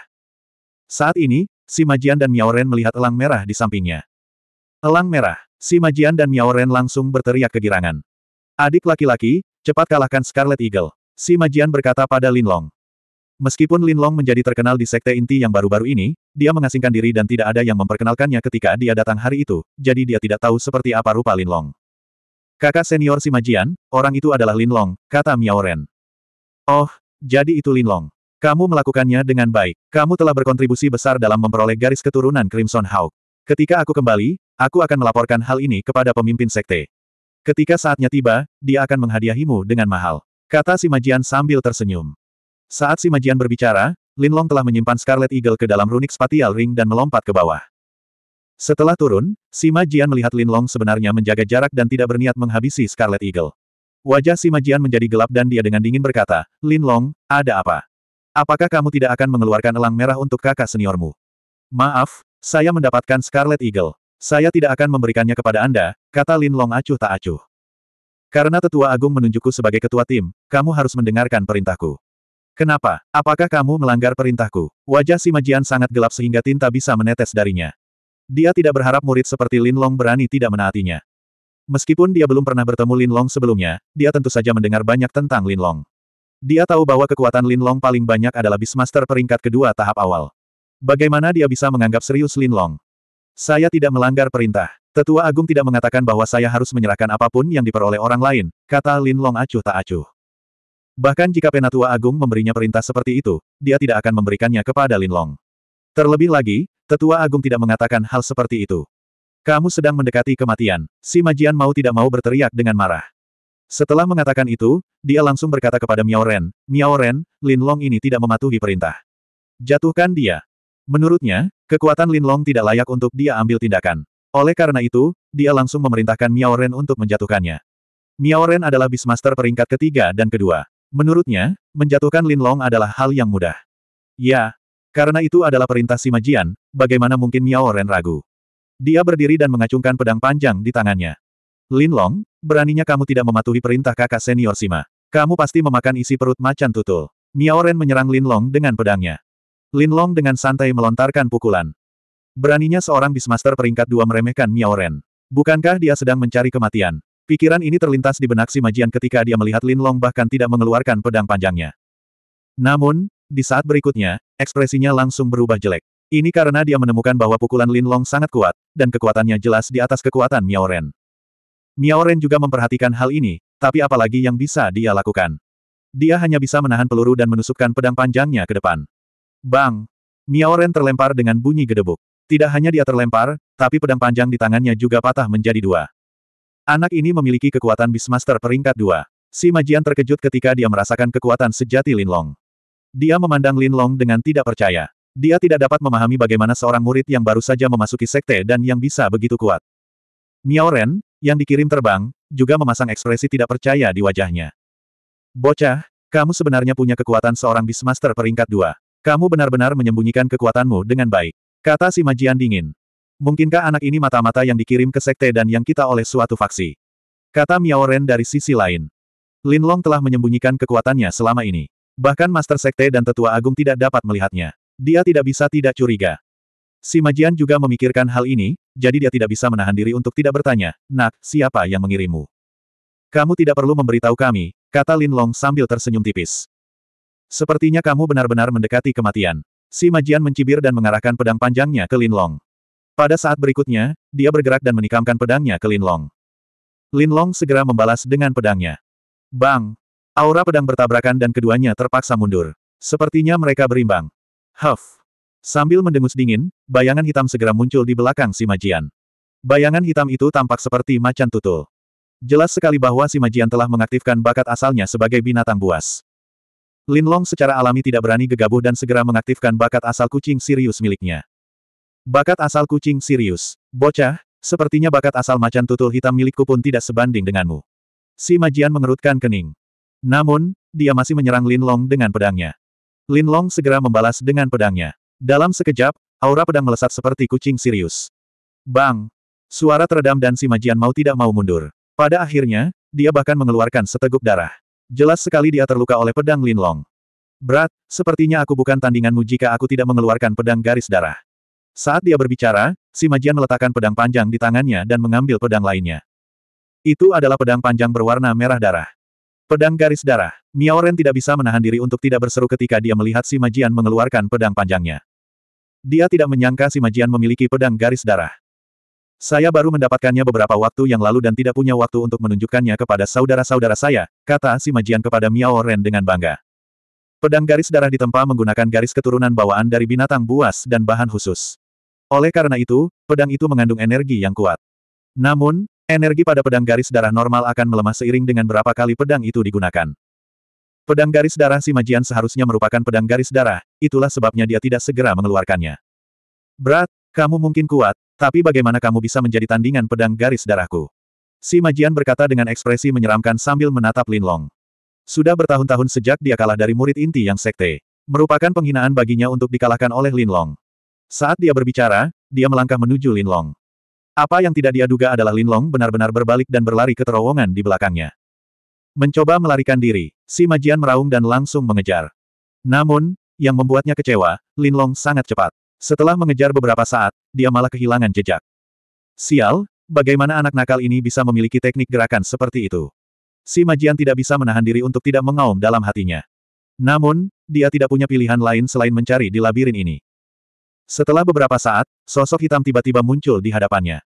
Apakah itu Lin Long? Si Majian awalnya senang, namun alisnya langsung berkerut saat melihat siapa orang itu. Orang di depannya bukanlah Lin Long, tapi Yang Tianyi. Saudara Sima, siapa yang kamu kejar? Yang Tianyi mau tidak mau bertanya. Setelah Lin Long, dia mencuri Scarlet Eagle. Si Majian mengatakan ini karena dia tahu akan sulit menemukan Lin Long sendirian. Apakah kamu mengatakan yang sebenarnya? Yang Tianyi bertanya dengan ragu. Lin Long berasal dari sekte inti Yang, jadi dia tidak berani mempercayai kata-kata si Majian dengan mudah. Tentu saja benar. Jika ada satu kebohongan pun, aku akan memotong salah satu lenganku. Kata si Majian dengan ekspresi gelap. Baiklah, aku percaya padamu. Yang Tianyi mengangguk. Melihat ekspresi si Majian, Yang Tianyi percaya bahwa meskipun dia berhasil mengejar Lin Long dan mengetahui bahwa Lin Long tidak memiliki Scarlet Eagle, dia masih bisa menghadapi si Majian. Keduanya segera mulai mencari Lin Long. 1724 setelah berjalan beberapa saat, keduanya tidak menemukan Lin Long. Sebaliknya, mereka bertemu Zheng Ge. Apa yang kalian berdua cari? Zheng Ge terkejut melihat Yang Tianyi dan si Majian bersama. Jika Sekte Ulat Sutra Surgawi dan Sekte Dan yang bergabung, itu akan menjadi masalah bagi Sekte Scarlet Phoenix. Scarlet Eagle direnggut oleh Lin Long. Kata si Majian dingin. Lin Long, bukankah dia murid dari Sekte Dan Yang? Zheng Ge bingung saat melihat si Majian mengertakkan gigi. Menurutnya, si Majian yang juga merupakan murid dari Sekte Dan Yang seharusnya sangat gembira. Anak itu berencana mengambil Scarlet Eagle untuk dirinya sendiri. Dia telah mengkhianati Sekte Dan Yang. Kata si Majian dengan sungguh-sungguh. Dia sudah memutuskan untuk memberitahu semua orang bahwa Lin Long telah mengkhianati Sekte Dan Yang. Tidak mungkin. Bagaimana dia bisa begitu berani? Zheng Ge terkejut. Dia adalah, kata si Majian. Yang Tianyi berkata, labirin ini terlalu besar. Jika kita terus mencari Lin Long seperti ini, dia mungkin akan keluar sebelum kita. Jadi, hal yang paling mendesak adalah keluar dulu, lalu suruh orang-orang di luar mengepung keluar dari istana ini. Jika anak itu keluar, kita akan segera menghadapinya bersama-sama. Kalau kita biarkan dia pergi dulu, kita akan mendapat masalah. Ayo kita beritahu yang lain dulu, kata si Majian. Baiklah, Zheng Ge mengangguk setuju. Mereka bertiga segera mencari jalan keluar. Tentu saja sulit untuk menemukan jalan keluarnya, tapi setelah beberapa saat, mereka bertiga cukup beruntung bisa menemukan jalan kembali ke pintu masuk labirin. Begitu mereka sampai, mereka bertiga langsung keluar. Apakah kalian melihat Lin Long keluar? Mereka bertiga bertanya kepada orang-orang di sekitar mereka begitu mereka keluar. Banyak orang yang mengikutinya ke dalam labirin, namun masih banyak orang yang memilih untuk tetap berada di luar. Lagi pula, tidak semua orang berani, dan tidak semua orang memiliki pemahaman yang baik tentang labirin empat fasilitas. Tidak, orang-orang dari tiga sekte di luar menggelengkan kepala. Melihat situasi ini, mereka bertiga menghela nafas lega. Jika kalian melihat Lin Long keluar nanti, kalian harus menghadapinya dan menangkapnya. Lalu, mereka bertiga berkata pada diri mereka sendiri. Mengapa? Seseorang bingung. Tangkap saja dia. Jangan tanya kenapa. Yang Tianyi dan Zheng Ge berkata pada diri mereka sendiri. Orang-orang yang paling bingung tentu saja adalah mereka yang berasal dari Sekte Inti Yang. Bagaimanapun, Lin Long adalah murid Sekte mereka. Oleh karena itu, mereka semua memandang Sima Jian dengan ekspresi bingung. Anak itu menyerangku dan mengkhianati Sekte Inti Yang, jadi kamu harus menangkapnya. Kata Sima Jian. Kakak senior Sima, jangan khawatir. Selama dia keluar, kami pasti akan menangkapnya. Banyak orang dari Sekte dan yang segera berkata. Kebanyakan orang mengangguk setuju ketika mendengar jawaban seperti itu. Si Majian adalah murid terkuat di Sekte dan Yang. Terlebih lagi, dia adalah pemimpin mereka, jadi mereka tentu saja mendengarkannya. Bagus. Jika kamu melakukannya dengan baik, aku pasti akan melaporkan hal ini kepada Tetua Agung dan Master Sekte. Mereka akan memberimu hadiah, kata si Majian sambil tersenyum. Ketiganya tidak mengungkapkan fakta bahwa Lin Long telah mencuri Scarlet Eagle. Lagi pula, semakin sedikit orang yang mengetahui hal ini, semakin baik. Setelah mengeluarkan perintah seperti itu, mereka bertiga kembali ke labirin. Begitu mereka kembali, sesosok tubuh keluar dari labirin. Sosok ini tak lain adalah Lin Long. Dia tidak seberuntung yang Tianyi, Si Majian, dan Zheng Ge. Oleh karena itu, dia baru menemukan jalan keluarnya setelah lama mencari. Begitu dia keluar, dia menyadari ada sesuatu yang tidak beres karena orang-orang di luar langsung mengelilinginya. Sepertinya si Majian keluar lebih dulu dan memberitahu mereka tentang aku mencuri Scarlet Eagle, pikir Lin Long dalam hati. Lin Long, menyerahlah sekarang, atau kita tidak akan bersikap sopan lagi. Orang-orang di luar berteriak pada Linlong. Karena ada banyak orang dan mereka berasal dari tiga kubu yang berbeda, tidak ada yang berpikir untuk menyerang Linlong terlebih dahulu. Tentu saja, jika Yang Tianyi, Si Majian, atau Zheng Ge ada di sini, mereka pasti akan berjuang untuk menyerang. Setelah melihat orang-orang di sekitarnya, Linlong tidak mengatakan apa pun. Sebaliknya, dia berbalik dan bergegas kembali ke labirin. Begitu dia berbalik, orang-orang di sekitarnya bergegas mendekat. Pada saat mereka bergegas masuk, Linlong sudah memasuki sebuah lorong. Melihat situasi ini, orang-orang ini hanya bisa keluar dan terus mengepung pintu masuk. Alasan mengapa Linlong kembali adalah secara alami karena dia tahu bahwa dia bukan tandingan orang-orang ini. Jalan ini sudah tidak memungkinkan lagi. Aku harus mencari cara lain, pikir Linlong dalam hati. Dengan pemikiran itu, dia terus berjalan ke depan. Pada saat ini, dia tiba-tiba mendengar suara-suara di sudut depannya. Sepertinya ada tiga orang yang sedang berbicara. Kakak senior si Majian telah mengatakan bahwa Linlong telah mengkhianati sekte dan yang kita. Oleh karena itu, segera serang dia ketika Anda melihatnya dan bunyikan alarm. Salah satu dari mereka berkata. Lin Long tahu bahwa itu adalah suara Hu Fei. Kakak senior Hu, kami mengerti, kata dua orang lainnya serempak. Kakak senior Hu, Lin Long tidak akan mengkhianati sekte dan yang kita, kan? Salah satu dari mereka bertanya. Saya tidak tahu secara spesifik, tapi saya mendengar dari kakak senior si Majian bahwa Lin Long menyergapnya. Pasti karena dia ingin mencuri elang merah. Karena Lin Long berani mengabaikan kakak senior si Majian, tentu saja kita harus menghadapinya. Dia, kata Hu Fei. Kakak senior Hu benar, Lin Long hanyalah murid baru. Beraninya dia melakukan ini. Dia benar-benar pelanggar hukum, kata orang lain. Aku selalu menganggap Lin Long merusak pemandangan. Kata orang terakhir. Siapa yang tahu begitu dia selesai berbicara, hembusan energi datang dari belakangnya. Sebelum dia sempat bereaksi, aura pedang menembus tubuhnya dan membuatnya terbang. Hu Fei dan orang lain segera berseru ketika mereka menoleh untuk melihat ke belakang orang itu. Lin Long. Orang yang menyergapnya adalah Lin Long. Karena mereka bertiga ingin menyerangnya, dia tentu saja harus mengambil langkah pertama. Yang terkuat di antara ketiganya adalah Hu Fei. Lin Long yakin dia bisa menghadapinya, jadi dia menyergapnya. Jika Yang Tianyi, si Majian, dan dua orang lainnya, dia tentu tidak akan melakukan itu. Lin Long, beraninya kamu membunuh kakak laki-lakimu sendiri. Hu Fei memelototi Lin Long. Bukan hanya dia, tapi kamu juga, kata Lin Long sambil tersenyum tipis. Bunuh aku. Hahaha, Hu Fei tidak bisa menahan tawa. Si Majian tidak mengungkapkan kekuatan Lin Long dengan tergesa-gesa, jadi Hu Fei tidak mengetahuinya. Dia mengira Lin Long hanyalah seorang prajurit binatang buas level 2 pemula. Ketika dia mendengar Lin Long kata-kata, sombong, dia tentu saja tidak bisa menahan tawa. Benar, kamu ingin membunuh kakak senior Hu. Kamu pasti sedang bermimpi. Orang di sebelahnya mendengus. Menurutnya, jika Lin Long tidak menyergapnya, dia bisa saja membunuh orang itu. Orang ini adalah seorang pemuda tinggi dan kurus. Lin Long pernah melihatnya sebelumnya, tapi dia tidak tahu namanya. Apakah begitu? Lin Long tersenyum tipis. Saat dia berbicara, dia menggerakkan tangannya, dan pedang panjang di tangannya tiba-tiba menyerang pemuda jangkung dan kurus itu. Kamu bahkan tidak bisa menahan satu pukulan pun. Pemuda jangkung dan kurus juga memandang rendah Lin Long, jadi dia mencibir. Saat dia berbicara, dia menyerang Lin Long dengan pedangnya. Dia bahkan tidak menggunakan kekuatan terkuatnya untuk serangan ini. Sesaat kemudian, ekspresinya berubah drastis karena dia menyadari bahwa aura pedang Lin Long sangat kuat. Kekuatan Linlong jelas telah mencapai puncak seorang prajurit binatang buas level 2. Tentu saja, dia ingin mundur, tetapi kekuatannya jauh lebih lemah daripada Linlong. Bagaimana dia bisa mundur? Begitu dia bergerak, aura pedang Linlong telah menyerangnya. Bang! Setelah aura pedang menghantam, pemuda jangkung dan kurus itu langsung terlempar karena serangan Linlong. Saat mendarat di tanah, dia bahkan pingsan. Nak, bagaimana kamu bisa memiliki kekuatan seorang prajurit binatang buas level 2? Hu Fei, yang tercengang, tidak bisa menahan diri untuk tidak berteriak. Setelah mengatakan itu, dia memikirkan sesuatu dan buru-buru mengeluarkan suara yang tajam. Ini adalah suara peringatan. Begitu dia mengeluarkan suara ini, si Majian dan yang lainnya akan bergegas tepat waktu. Setelah mengeluarkan suara ini, dia tidak bisa menahan nafas lega. Kemudian, dia melihat ke arah Linlong dan berkata dengan dingin, Linlong, biarkan aku bertarung melawan prajurit monster level 2 di puncak prajurit monster level 2. Setelah mengatakan itu, bayangan hitam muncul di belakangnya. Bayangan hitam ini tampak seperti badak hitam. Tampaknya Hu Fei memiliki bakat asal badak. Untuk mengakhiri pertempuran dengan cepat, Lin Long juga menggunakan bakat asal kucing serigala surgawi miliknya. Melihat sosok kucing serigala surgawi di belakang Lin Long, wajah Hu Fei berubah sedikit jelek. Ini karena dia tahu bahwa bakat asalnya jauh lebih lemah daripada Lin Long. Terlebih lagi, tingkat kultivasinya lebih rendah dari Lin Long, sehingga akan sangat sulit baginya untuk mengalahkan Lin Long. Namun, saat ini, dia hanya bisa bertarung langsung dan berharap si Majian dan yang lainnya akan bergegas sebelum dia dibunuh oleh Linlong. Hai! Sambil mengaum, dia menyerang Linlong dengan pedangnya. Adapun Linlong, dia juga menebas dengan pedangnya. Dalam sekejap, aura pedang yang menyerang seperti kucing serigala surgawi yang mengaum. Bang! Aura pedang menghantam, dan Hu Fei langsung terlempar.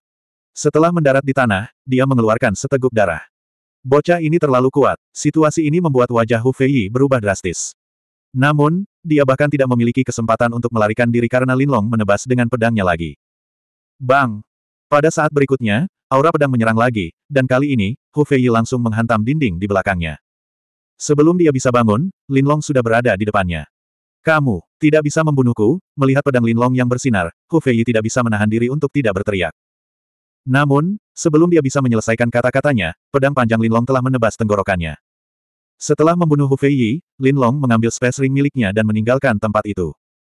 Begitu dia pergi, seseorang telah tiba. Itu adalah Zheng Ge dari Sekte Phoenix Merah. Hu Fei sebenarnya sudah mati. Melihat Hu Fei yang terbaring di tanah tanpa tanda-tanda kehidupan, wajah Zheng Ge mau tidak mau berubah.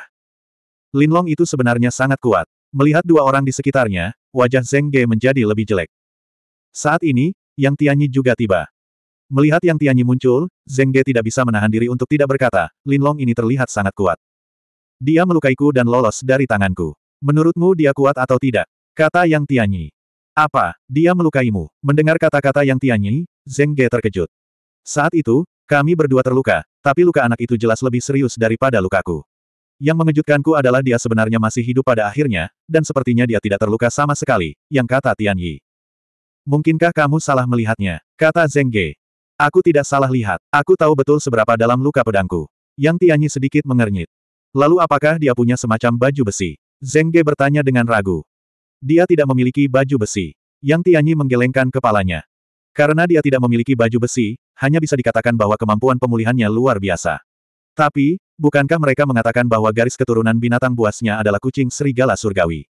Zheng Ge bertanya dengan ragu. Saya tidak tahu tentang itu. Yang Tianyi menggelengkan kepalanya. Sepertinya lawan yang kita temui bukanlah lawan biasa. Zheng Ge hanya bisa menghela nafas. Tidak peduli seberapa kuat dia, bagaimana dia bisa menjadi tandingan kita. Yang Tianyi mencibir. Saudara Yang, kamu benar. Mendengar kata-kata Yang Tianyi, Zheng Ge tidak bisa menahan senyum di wajahnya. Bahkan jika Linlong memiliki tiga kepala dan enam lengan, bagaimana dia bisa lolos tanpa cedera dari serangan tiga murid terkuat? Setelah itu, keduanya berpisah dan terus mencari Linlong. Setelah berjalan beberapa saat, Linlong bertemu dengan seseorang yang dikenalnya. Itu adalah Qin Gui dari Sekte Ulat Sutra Surgawi. Lin Long. Melihat Lin Long, mata Qin Gui tidak bisa menahan untuk tidak berbinar. Dia secara alami menerima pesan bahwa Yang Tianyi ingin berurusan dengan Lin Long. Meskipun Yang Tianyi tidak memberitahunya alasannya, bagaimana mungkin dia tidak menebaknya. Dia tahu bahwa jika Lin Long tidak memiliki Scarlet Eagle, Yang Tianyi pasti tidak akan bergabung dengan dua sekte lainnya untuk menghadapi Lin Long. Tentu saja, alasan mengapa dia menduga Lin Long memiliki Scarlet Eagle adalah karena dia tahu bahwa Lin Long memiliki kekuatan untuk menjatuhkannya. Lin Long, aku tidak mengira kita akan bertemu lagi. Melihat Lin Long, Qin Gui mengungkapkan sedikit senyuman. Tempat ini sangat kecil, sangat normal untuk bertemu satu sama lain, kata Lin Long acuh tak acuh. Lin Long, jangan bertele-tele. Kamu sudah mendapatkan Scarlet Eagle, kan? Qin Gui bertanya langsung. Benar, aku sudah mendapatkan Scarlet Eagle. Lin Long mengangguk. Memutar matanya, Qin Gui berkata, Lin Long, bagaimana kalau kita bekerja sama? Bekerja sama, Lin Long berkata dengan wajah penuh keraguan. Bekerja samalah denganku, dan aku akan membawamu keluar dari istana ini. Bagaimana? Kata Qin Gui. Oh, kenapa kamu melakukan itu? Lin Long bertanya. Karena meskipun aku menangkapmu bersama Yang Tianyi dan yang lainnya, peluangku mendapatkan garis keturunan Scarlet Eagle sangat kecil. Jika itu masalahnya, sebaiknya aku bekerja sama denganmu dan bertaruh, kata Qin Gui. Begitukah? Lalu apakah kamu yakin bisa merebut Scarlet Eagle dariku setelah kamu membawaku keluar? Lin Long berkata dengan acuh tak acuh. Aku tidak percaya diri, tapi itu lebih baik daripada bertarung dengan mereka, kan? Kata Qin Gui. Itu benar. Lin Long mengangguk dan kemudian bertanya, namun, bagian luarnya sudah dikelilingi oleh orang-orang dari tiga sekte. Bagaimana Anda bisa membawa saya keluar? Kamu tidak tahu tentang ini, tapi ada tempat lain di dalam istana. Mengatakan itu, Qin Gui mengungkapkan sedikit senyuman misterius. Lin Long mempercayai kata-kata Qin Gui karena dia merasa harus ada jalan keluar lain untuk istana seperti itu. Baiklah, Aku setuju untuk bekerja sama denganmu. Lin Long mengangguk. Kekuatan Qin Gui lebih lemah dari Yang Tianyi. Jika dia bisa pergi dengan bekerja sama dengan Qin Gui, maka dia tidak perlu menghadapi pengepungan Yang Tianyi dan yang lainnya. Oleh karena itu, dia secara alami memilih untuk bekerja sama dengan Qin Gui. 1725. Oke, ikuti aku. Qin Gui segera berkata. Saat dia berbicara, dia memimpin. Setelah melakukan dua putaran, murid Sekte Ulat Sutra Surgawi muncul di hadapan Qin Gui dan Lin Long. Lin Long pernah melihat orang ini sebelumnya. Itu adalah Yang Mo, yang mengejarnya sebelumnya. Melihat Lin Long mengikuti di belakang Qin Gui, Yang Mo mau tidak mau bertanya, Qin Gui, Lin Long ini adalah seseorang yang ingin dihadapi oleh kakak tertua. Mengapa kamu bersamanya? Apa? Mendengar perkataan Yang Mo, Qin Gui langsung berpura-pura terkejut. Pada saat yang sama, dia meningkatkan jarak antara dia dan Lin Long. Mungkinkah kamu tidak menerima pesan dari kakak tertua? Yang Mo bertanya dengan ragu. Tidak, ini pertama kalinya aku mendengarmu menyebutkannya. Jika kamu tidak memberitahuku, aku bahkan tidak akan tahu tentang ini. Adapun kenapa aku baik-baik saja dengannya, itu karena dia memberitahuku bahwa Scarlet Elang ada di depan dan tidak mudah baginya untuk menangkapnya sendirian, jadi dia memintaku untuk pergi bersamanya, kata Qin Gui. Dia memintamu untuk menangkap Crimson Eagle bersamanya. Yang mau tampak bingung. Itu benar, Qin Gui mengangguk. Namun, karena kakak tertua telah mengirimkan pesan seperti itu, dia pasti berbohong kepadaku. Dia ingin memanfaatkanku untuk melarikan diri dari tempat ini. Sepertinya memang begitu. Namun, kemungkinan besar dia mengetahui keberadaan Crimson Eagle, jadi ayo kita kalahkan dia dulu. Kata Yang Mo setelah melirik Qin Gui. Dia memilih untuk mempercayai Qin Gui karena dia tidak berharap Qin Gui bekerja sama dengan Lin Long. Baiklah, Qin Gui mengangguk. Saat dia berbicara, dia sudah sampai di samping Yang Mo. Anak ini kuat, lebih baik kita menyerang bersama. Yang Mo berkata lagi. Ya, Qin Gui mengangguk lagi. Kemudian, dia mengeluarkan pedang panjang di tubuhnya dan pada saat yang sama, menstimulasi bakat asal binatang buasnya. Lalu, dia menebas dengan pedangnya. Namun, Yang Mo terkejut karena pedang Qin Gui tidak ditujukan ke Lin Long. Sebaliknya, itu ditujukan padanya. Yang Mo tidak menyangka Qin Gui akan menyerangnya, jadi dia tidak punya waktu untuk melawan sama sekali. Ah! Dengan jeritan yang menyedihkan, dadanya dipukul oleh pedang Qin Gui dan terlempar. Qin Gui, kamu, kenapa kamu menyerangku? Yang Mo, yang jatuh ke tanah, berjuang untuk mengangkat kepalanya dan berkata dengan enggan. Dia tidak menyangka Qin Gui begitu kejam hingga dia bahkan menyerang sesama muridnya. Kita harus tahu bahwa dia tidak memiliki konflik apa pun dengan Qin Gui sebelum ini. Kenapa? Karena kamu pantas mati karena menghalangi jalanku. Qin Gui mencibir. Begitu dia selesai berbicara, pedang panjang di tangannya menusuk dada kiri Yang Mo. Setelah jeritan menyedihkan lainnya, Yang Mo terbunuh. Setelah mengambil cincin luar angkasa Yang Mo, Qin Gui menoleh ke Lin Long dan berkata, Lin Long, sudah selesai. Ayo pergi. Dia segera memimpin lagi, dengan Lin Long mengikuti di belakangnya. Lin Long telah melihat banyak orang yang begitu kejam, jadi tidak ada perubahan pada ekspresinya. Kali ini, mereka tidak menemui masalah lagi. Segera, mereka sampai di jalan buntu. Ada jalan keluar di sini. Lin Long tidak bisa menahan diri untuk tidak mengerutkan kening saat dia melihat sekeliling. Kamu tidak tahu tentang ini, tapi ada jebakan di sini. Dengan mengatakan itu, Qin Gui secara berirama menepuk dinding beberapa kali, dan jalan buntu membuka pintu secara mengesankan. Jebakan ini sebenarnya sangat tersembunyi. Melihat tempat di mana Qin Gui menepuk, Lin Long sedikit terkejut. Dengan kekuatannya, dia akan dapat menemukannya jika dia mencari-cari selama jangka waktu tertentu. Namun, ketika Yang Tianyi dan yang lainnya mengejarnya, dia tidak punya waktu untuk memikirkan hal ini kecuali dia mengetahuinya sebelumnya. Lin Long, ayo masuk. Karena itu, Qin Gui memimpin dan masuk. Lin Long mengikutinya ke aula. Setelah masuk, Lin Long menemukan bahwa sebenarnya ada sumur bundar di dalamnya. Saat dia melihat ke atas, dia bisa melihat langit di atas. Lin Long segera mengerutkan kening karena dia menemukan sumur itu sangat tinggi. Dengan kekuatannya saat ini, tidak mungkin dia bisa melompat ke puncak. Bahkan jika dia melompat ke atas, dia akan ditemukan oleh orang-orang di sekitar istana. Ketika saatnya tiba, mereka akan mengepungnya dan dia tidak akan bisa melarikan diri. Qin Gui jelas memahami kekhawatiran Lin Long, jadi dia berkata, Lin Long, jangan khawatir. Ada jalan keluar di tengah jalan ini. Jika kita keluar dari sana, kita bisa langsung mencapai puncak istana. Dengan begitu, orang-orang di luar tidak akan melihat kita. Setelah jeda sebentar, dia melanjutkan, meskipun setengah jalan ke atas agak tinggi, dengan kekuatan kita, kita masih bisa naik. Namun, tidak perlu melalui banyak masalah. Ada jebakan di samping. Begitu kita membuka jebakan, beberapa langkah akan muncul. Pada saat itu, akan lebih mudah bagi kita untuk naik. Saat dia berbicara, Qin Gui berjalan ke sisi lain. Segera, dia berjalan ke tembok di sana. Setelah datang ke sini, setelah meraba-raba sebentar, dia mengulurkan tangannya dan menepuk dinding beberapa kali. Setelah beberapa tepukan, rune benar-benar muncul di dinding sumur bundar. Rune ini bukanlah rune yang pernah dia lihat sebelumnya, dan terlihat sangat aneh. Situasi ini membuat Lin Long mengerutkan kening.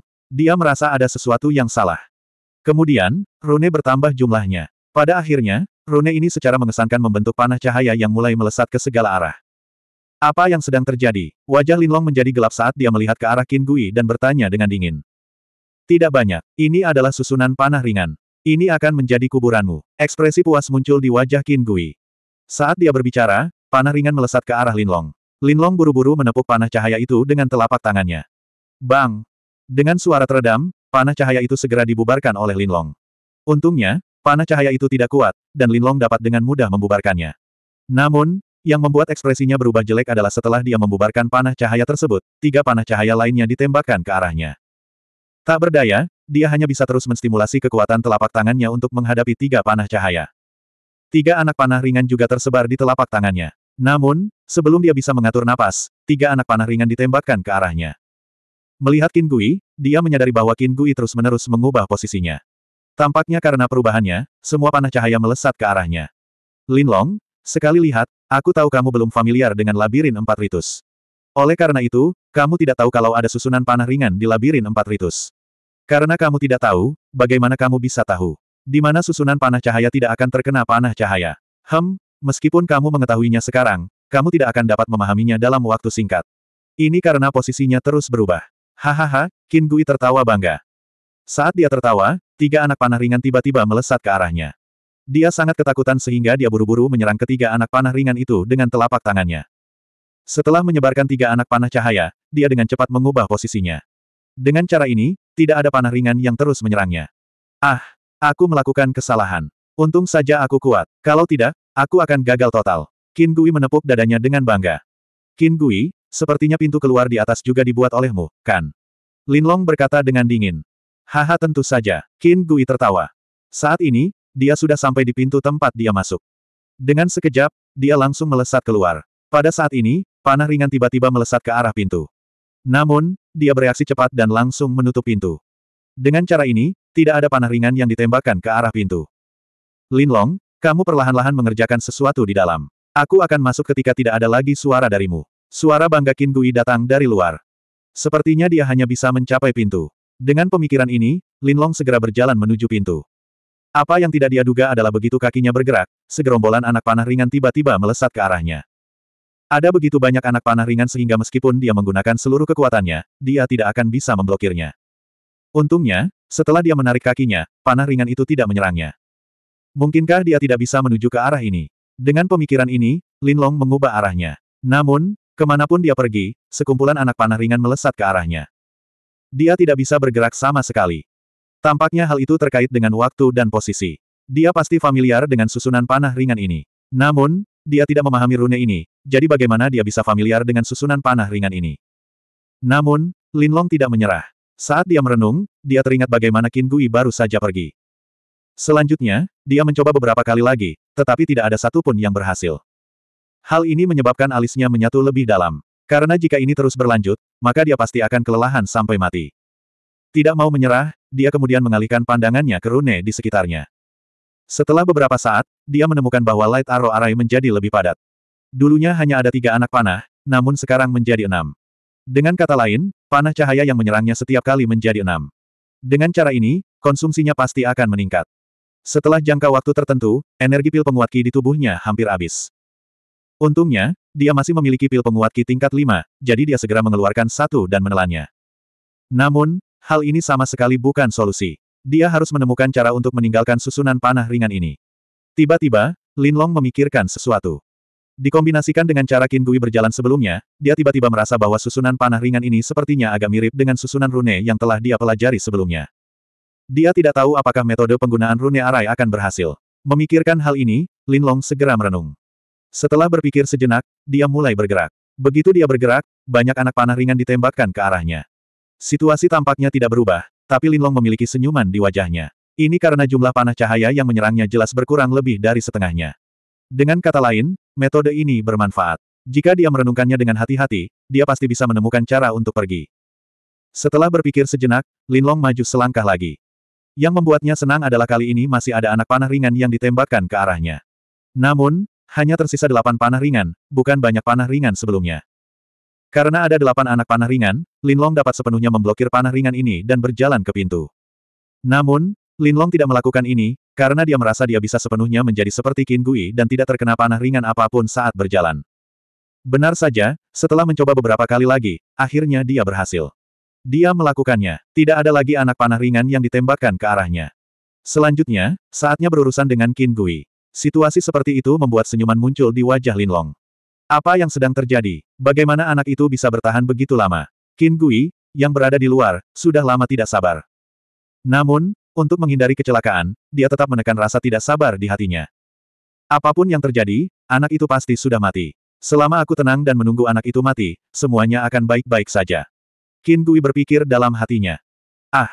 Tidak lama kemudian, teriakan Linlong terdengar dari dalam sumur bundar. Haha, anak itu akhirnya tidak tahan lagi. Qin Gui sangat gembira. Setelah menunggu beberapa saat dan melihat tidak ada suara di dalam, Qin Gui segera membuka pintu. Siapa sangka begitu dia membuka pintu, ujung pedang dingin diarahkan ke tenggorokannya.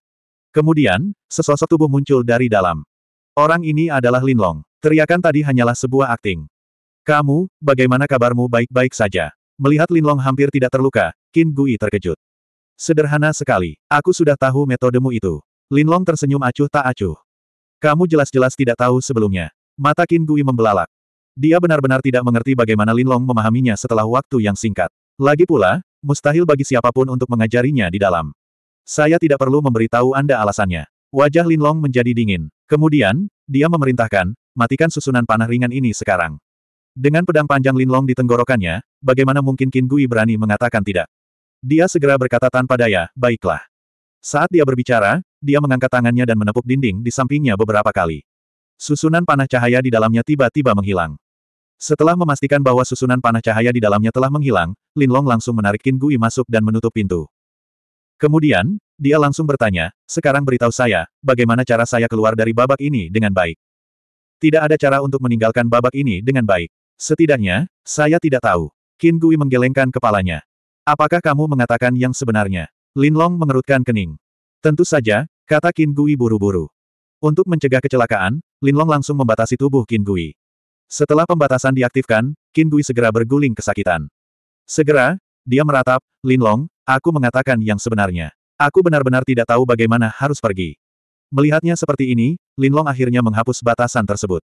Qin Gui terengah-engah saat dia bertanya, Lin Long, apa sebenarnya metodemu ini? Mengapa metode ini begitu kuat? Kamu tidak perlu mengetahui hal itu, kata Lin Long acuh tak acuh. Pada saat inilah Lin Long tiba-tiba mendengar suara orang berjalan dari luar. Kedengarannya ada tiga orang. Linlong memberi isyarat kepada Qin Gui untuk tidak berbicara. Seluruh labirin telah digeledah, kecuali sumur bundar ini. Mungkinkah Linlong ada di dalam sumur bundar? Saat ini, sebuah suara datang dari luar. Linlong tahu bahwa itu adalah suara yang Tianyi. Itu memang mungkin. Bagaimanapun, yang mau baru saja meninggal ke arah ini, kata orang lain. Orang ini jelas adalah si Majian. Kakak senior Sima, kakak senior Yang, cobalah membuka babak ini dengan baik, kata orang ketiga. Orang ini tidak terdengar seperti Zengge. Baiklah, kalau begitu aku akan mencobanya, Yang Tianyi segera berkata. 1726. Setelah mendengar percakapan tiga orang di luar, Lin Long langsung berkata kepada Qin Gui, Qin Gui, apakah ada cara untuk menutup pintu ini? Jika tiga orang di luar masuk, tidak akan mudah baginya untuk menghadapi mereka di tempat sempit seperti itu. Ada jalannya, ada mekanismenya di sini, kata Qin Gui. Setelah menutup pintu ini, orang-orang di luar tidak akan bisa mengaktifkan susunan panah cahaya, kan? Lin Long bertanya lagi. Setelah menutupnya, mereka juga tidak akan bisa mengaktifkannya. Namun, kami tidak akan bisa keluar, kata Qin Gui. Baiklah, kami akan menutupnya. Lin Long segera berkata. Bukankah Lin Long takut dikurung di sini? Melihat keputusan Lin Long, pemikiran seperti itu terlintas di benak Qin Gui. Namun, Lin Long lah yang bertanggung jawab sekarang, jadi dia hanya bisa mendengarkannya. Dengan sangat cepat, Qin Gui mengaktifkan mekanismenya. Pada saat ini, Yang Tianyi, yang berada di luar, baru saja hendak membuka pintu, tetapi ekspresinya berubah jelek. Tidak peduli bagaimana dia mencoba mengaktifkan mekanismenya, pintunya tidak bergerak sama sekali. Mungkinkah mekanismenya rusak? Pikir Yang Tianyi. Namun, setelah mengamati dengan cermat, dia tidak menemukan ada yang salah. Si Majian pun datang untuk melihatnya. Si Majian memikirkan sesuatu dan berkata, mungkinkah Linlong benar-benar ada di dalam dan menutup pintu dari dalam? Itu mungkin. Mari kita lihat apakah kita bisa mengaktifkan susunan panah cahaya di dalamnya.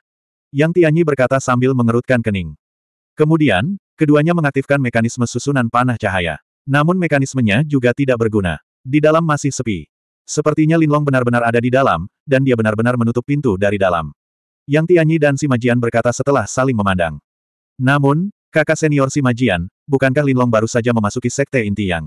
Bagaimana dia bisa begitu akrab dengan labirin empat fasilitas? Orang di sampingnya mau tidak mau bertanya. Saya tidak tahu tentang itu. Mungkin dia sudah sangat akrab dengan sekte inti yang kita dan hanya berpura-pura menjadi murid baru, kata si Majian. Yang Tianyi memikirkan sesuatu dan berkata, atau mungkin dia menyandera seseorang dan mengetahui tentang labirin empat fasilitas melalui orang itu. Ya, itu juga mungkin. Si Majian mengangguk. Kalau begitu, apakah kita tidak punya pilihan selain menunggu di sini? Orang lain bertanya. Tidak ada yang bisa kulakukan. Si Majian menggelengkan kepalanya. Tanpa diduga, Yang Tianyi berkata, saya punya ide.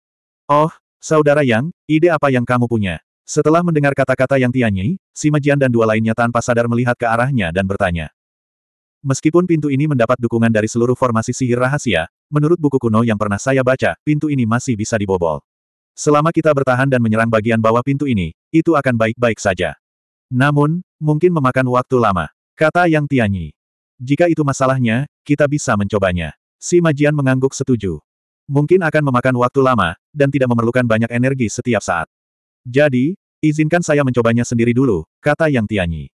Setelah berbicara, Yang Tianyi memerintahkan si Majian dan Luo Yunyang mundur. Kemudian, dia mengirimkan serangan telapak tangan ke bagian bawah pintu. Bang! Dengan suara lembut, pintunya jelas bergetar. Namun hanya berguncang dan tidak menunjukkan kerusakan apa pun. Berdasarkan ini, pintu ini tidak bisa dibobolkan. Orang lain mau tidak mau bertanya. Namun si Majian berkata, kamu salah. Karena pintu ini bisa berguncang, berarti bisa dibobol. Namun, dengan besarnya guncangan, sepertinya akan memakan waktu lama. Saudara Majian benar. Yang Tianyi juga berkata. Setelah jeda sebentar, dia membanting telapak tangannya ke depan lagi. Setelah total 10 serangan telapak tangan, dia akhirnya beralih dengan si Majian. Setelah dia bertukar dengan si Majian, dia berkata kepada orang lain, kamu keluar dan panggil yang lain di labirin ke sini. Dengan lebih banyak orang yang bergiliran menyerang, kita tidak perlu membuang terlalu banyak energi. Orang itu segera meninggalkan tempat itu. Seiring berjalannya waktu, orang-orang datang satu demi satu. Tidak lama kemudian, Zheng Ge juga datang. Saudara Yang, apakah Lin Long benar-benar ada di dalam? Zheng Ge bertanya ketika dia melihat Yang Tianyi dan Luo Yunyang. Berdasarkan situasi saat ini, kemungkinan besar dia ada di dalam. Yang Tianyi mengangguk. Namun, kenapa dia begitu bodohnya mengurung diri di sana? Seseorang bertanya dengan ragu. Mungkin karena dia tidak punya tempat lain untuk pergi. Apa alasan lain yang mungkin ada? Kata orang lain. Seharusnya begitu. Yang Tianyi juga mengangguk. Karena jumlah orangnya banyak, mereka pun semakin rajin berpindah orang. Hampir semua orang akan mengetuk pintu tujuh atau delapan kali sebelum beralih ke orang berikutnya. Awalnya, para murid dari tiga sekte berselisih satu sama lain. Namun, karena Lin Long, mereka semua menyerang pintu bersama-sama. Jika para tetua di luar mengetahui hal ini, mereka mungkin akan tercengang. Setelah beberapa saat, terdengar suara gemuruh, dan pintu di depannya tiba-tiba bergetar hebat. Tak hanya itu, bagian bawah pintunya pun jelas-jelas terlepas. Ini efektif dengan sangat cepat. Melihat situasi ini, Yang Tianyi langsung berteriak kegirangan. Dia awalnya mengira akan memakan waktu setidaknya setengah hari agar sebagian dari pintu itu runtuh. Siapa sangka hal itu bisa dilakukan dalam waktu sesingkat itu. Si Majian pun mengangguk lalu berkata kepada orang-orang di sekitarnya, kalau begitu, tidak akan lama lagi kita bisa mendobrak pintu ini. Semuanya, lakukan yang terbaik. Mendengar hal tersebut, orang-orang yang berada di lokasi kejadian semakin termotivasi. Di dalam sumur bundar, Lin Long mengeluarkan Scarlet Eagle yang tidak sadarkan diri. Melihat Lin Long mengeluarkan garis keturunan bakat Scarlet Eagle, Qin Gui tidak bisa menahan diri untuk berkata, kamu. Apakah kamu akan menelan garis keturunan bakat Scarlet Eagle di dalam? Itu benar, Lin Long mengangguk. Ini juga satu-satunya cara. Namun, kamu sudah memiliki bakat asal dari binatang buas. Sangat sulit untuk mendapatkan bakat asal dari binatang buas jenis kedua. Bahkan jika kamu beruntung, kamu tidak akan bisa mengaktifkannya. Bakat asal itu tanpa menghabiskan waktu lama. Saat itu, orang-orang di luar mungkin sudah menyerang. Kata Qin Gui. Dia tidak mengkhawatirkan Lin Long, tapi dia merasa Lin Long tidak bisa melakukannya sama sekali. Kamu tidak perlu khawatir tentang itu, kata Lin Long. Setelah mengatakan itu, dia mengeluarkan tabung bambu dan mulai menelan garis keturunan bakat Scarlet Eagle. Ada pembuluh darah khusus di dada Scarlet Eagle. Garis keturunan bakat Scarlet Eagle ada di pembuluh darah ini. Garis keturunan bakat binatang buas lainnya juga berada di tempat yang sama, jadi tidak sulit untuk menelannya. Segera, Lin Long menelan garis keturunan bakat Scarlet Eagle. Begitu dia menelannya, gelombang energi mulai mengamuk di tubuhnya. Lin Long buru-buru menggunakan metode budidayanya untuk menyerap dan memurnikan energi. Kali ini, Waktu yang dia habiskan jelas lebih lama dibandingkan saat dia menelan garis keturunan bakat kucing Sirius. Lin Long tahu bahwa ini karena dia sebelumnya telah memperoleh bakat asal kucing Sirius. Namun, itu hanya setengah jam lebih sedikit. Setelah jangka waktu ini, dia telah sepenuhnya menyerap energi di tubuhnya. Setelah menyerap energinya, dia menemukan bahwa kekuatannya telah langsung menembus prajurit binatang lapis kedua peringkat dua. Tak hanya itu, tubuhnya jelas mengandung aura Scarlet Eagle. Sepertinya dia sudah memahami bakat asal elang merah. Berpikir demikian, Lin Long segera menstimulasi aura Scarlet Eagle di tubuhnya. Begitu dirangsang, bayangan hitam segera muncul di belakangnya. Melihat bayangan hitam di belakang Lin Long, Qin Gui langsung tercengang karena bayangan hitam di belakang Lin Long ternyata adalah Scarlet Eagle. Dengan kata lain, Lin Long sebenarnya memperoleh bakat asal elang merah dalam waktu sesingkat itu. Bagaimana dia melakukannya? Qin Gui tidak bisa menahan diri untuk tidak melebarkan matanya. Jika Lin Long tidak mendapatkan bakat asal kucing serigala surgawi, dia masih bisa mengerti. Tapi sekarang, dalam keadaan seperti itu, Lin Long bisa mendapatkan bakat asal elang merah dengan begitu cepat. Dia tidak bisa memahaminya sama sekali. Bang! Pada saat itulah juga terjadi ledakan keras. Pintunya didobrak, lalu seseorang bergegas masuk. Begitu orang ini menyerbu masuk, Lin Long langsung membunuh Qin Gui, lalu mengepakkan sayap bayangan hitam di belakangnya dan terbang di atas sumur bundar. Tidak mungkin, Lin Long ini bisa terbang. Ketika orang yang bergegas masuk melihat Lin Long benar-benar terbang menuju sumur bundar, dia tidak bisa menahan diri untuk tidak tercengang. Saat dia terkejut, sekelompok orang juga bergegas masuk dari luar. Hanya ada Qin Gui di dalam. Di mana Lin Long? Begitu mereka masuk dan hanya melihat mayat Qin Gui di tanah, mereka semua berteriak seperti ini. Orang pertama yang masuk langsung menunjuk ke atas dan berkata, dia terbang. Semua orang buru-buru mengangkat kepala, dan benar saja, mereka melihat seseorang terbang di atas. Itu Lin Long. Dia telah memperoleh bakat asal elang merah. Seseorang yang mengetahui apa yang sedang terjadi segera berteriak. Sial, bagaimana dia bisa menelan bakat asal elang merah? Bagaimana dia melakukannya dalam waktu sesingkat itu? Untuk sesaat, semua orang yang hadir marah dan terkejut. Mereka marah karena Lin Long benar-benar menelan bakat asal elang merah. Dengan cara ini, bahkan jika mereka menangkap Lin Long, tidak mungkin mereka bisa mendapatkan bakat asal elang merah. Tentu saja, mereka terkejut bahwa Lin Long benar-benar memperoleh bakat asal elang merah dalam waktu sesingkat itu. Dalam waktu sesingkat itu, mungkin bahkan orang dengan bakat tingkat dewa pun tidak akan mampu melakukannya. Saat semua orang terkejut dan marah, satu orang langsung terbang. Orang ini tidak lain adalah Yang Tianyi, satu-satunya di antara mereka yang bisa terbang. Bocah, kamu benar-benar menelan bakat asal elang merah. Anda sedang mendekati kematian. Yang Tianyi meraung di dalam hatinya saat dia terbang. Pada saat ini, Lin Long telah terbang keluar dari sumur bundar dan kemudian terbang menuju bagian dalam dunia rahasia. Merasakan aura di bawah, dia tidak perlu melihat ke bawah untuk mengetahui bahwa Yang Tianyi mengejarnya. Cepat, cepat, keluar dan kejar Lin Long bersama orang-orang di luar. Setelah tertegun sejenak, si Majian dan Zheng Ge berteriak dengan marah. Setelah sibuk selama setengah hari, bakat asal elang merah akhirnya ditelan oleh Lin Long. Bagaimana mungkin mereka tidak marah? Kelompok itu buru-buru kembali ke tempat mereka datang. Pada saat ini, beberapa orang di luar istana juga melihat Lin Long dan Yang Tianyi terbang di langit. Namun karena jarak dan sudutnya, mereka tidak melihat siapa dua orang di langit itu. Tentu saja, mereka tidak perlu menebak-nebak untuk mengetahui bahwa salah satunya adalah Yang Tianyi. Adapun yang lainnya, mereka tidak tahu. Karena tidak tahu, awalnya mereka tidak berani mengikutinya. Hanya Sekte Ulat Sutra Surgawi yang mengirim beberapa orang untuk mengejar Lin Long. Bagaimanapun, Yang Tianyi adalah kakak tertua mereka. Yang Tianyi awalnya berpikir bahwa dia akan mengejar Lin Long dengan sangat cepat. Dia tidak menyangka kecepatan Lin Long tidak melambat sama sekali. Oleh karena itu, dia tidak punya cara untuk menutup jarak di antara mereka. Bocah ini tidak hanya mendapatkan bakat asal elang merah, tapi dia juga menguasainya sepenuhnya. Yang Tianyi, yang melihat ini, mengerutkan kening dalam-dalam. Secara umum, bakat asal dari binatang buas akan sedikit asing ketika diaktifkan untuk pertama kalinya. Hanya setelah mengaktifkannya berkali-kali berturut-turut seseorang akan menjadi familiar dengannya. Namun, ada juga orang dengan bakat luar biasa yang bisa sepenuhnya menguasai bakat asal binatang buas saat pertama kali mereka mengaktifkannya. Jelas sekali, Lin Long adalah orang seperti itu. Tampaknya sulit untuk mengejar Lin Long, tapi Yang Tianyi tidak mau menyerah. Dia terus mengejar Lin Long. Melihat Yang Tianyi mengikuti dari dekat, Lin Long juga mengerutkan kening. Juga sangat sulit baginya untuk melepaskan diri dari pihak lain. Tentu saja, seiring berjalannya waktu, dia pasti bisa menyingkirkan pihak lain. Bagaimanapun, dia hanya perlu mengonsumsi pil peningkatan energi untuk memulihkan Yuan Qi-nya, tetapi Yang Tianyi di belakangnya berbeda. Namun, Lin Long tidak ingin melihat pihak lain mengejarnya tanpa henti, karena itu pasti akan membuang banyak waktu.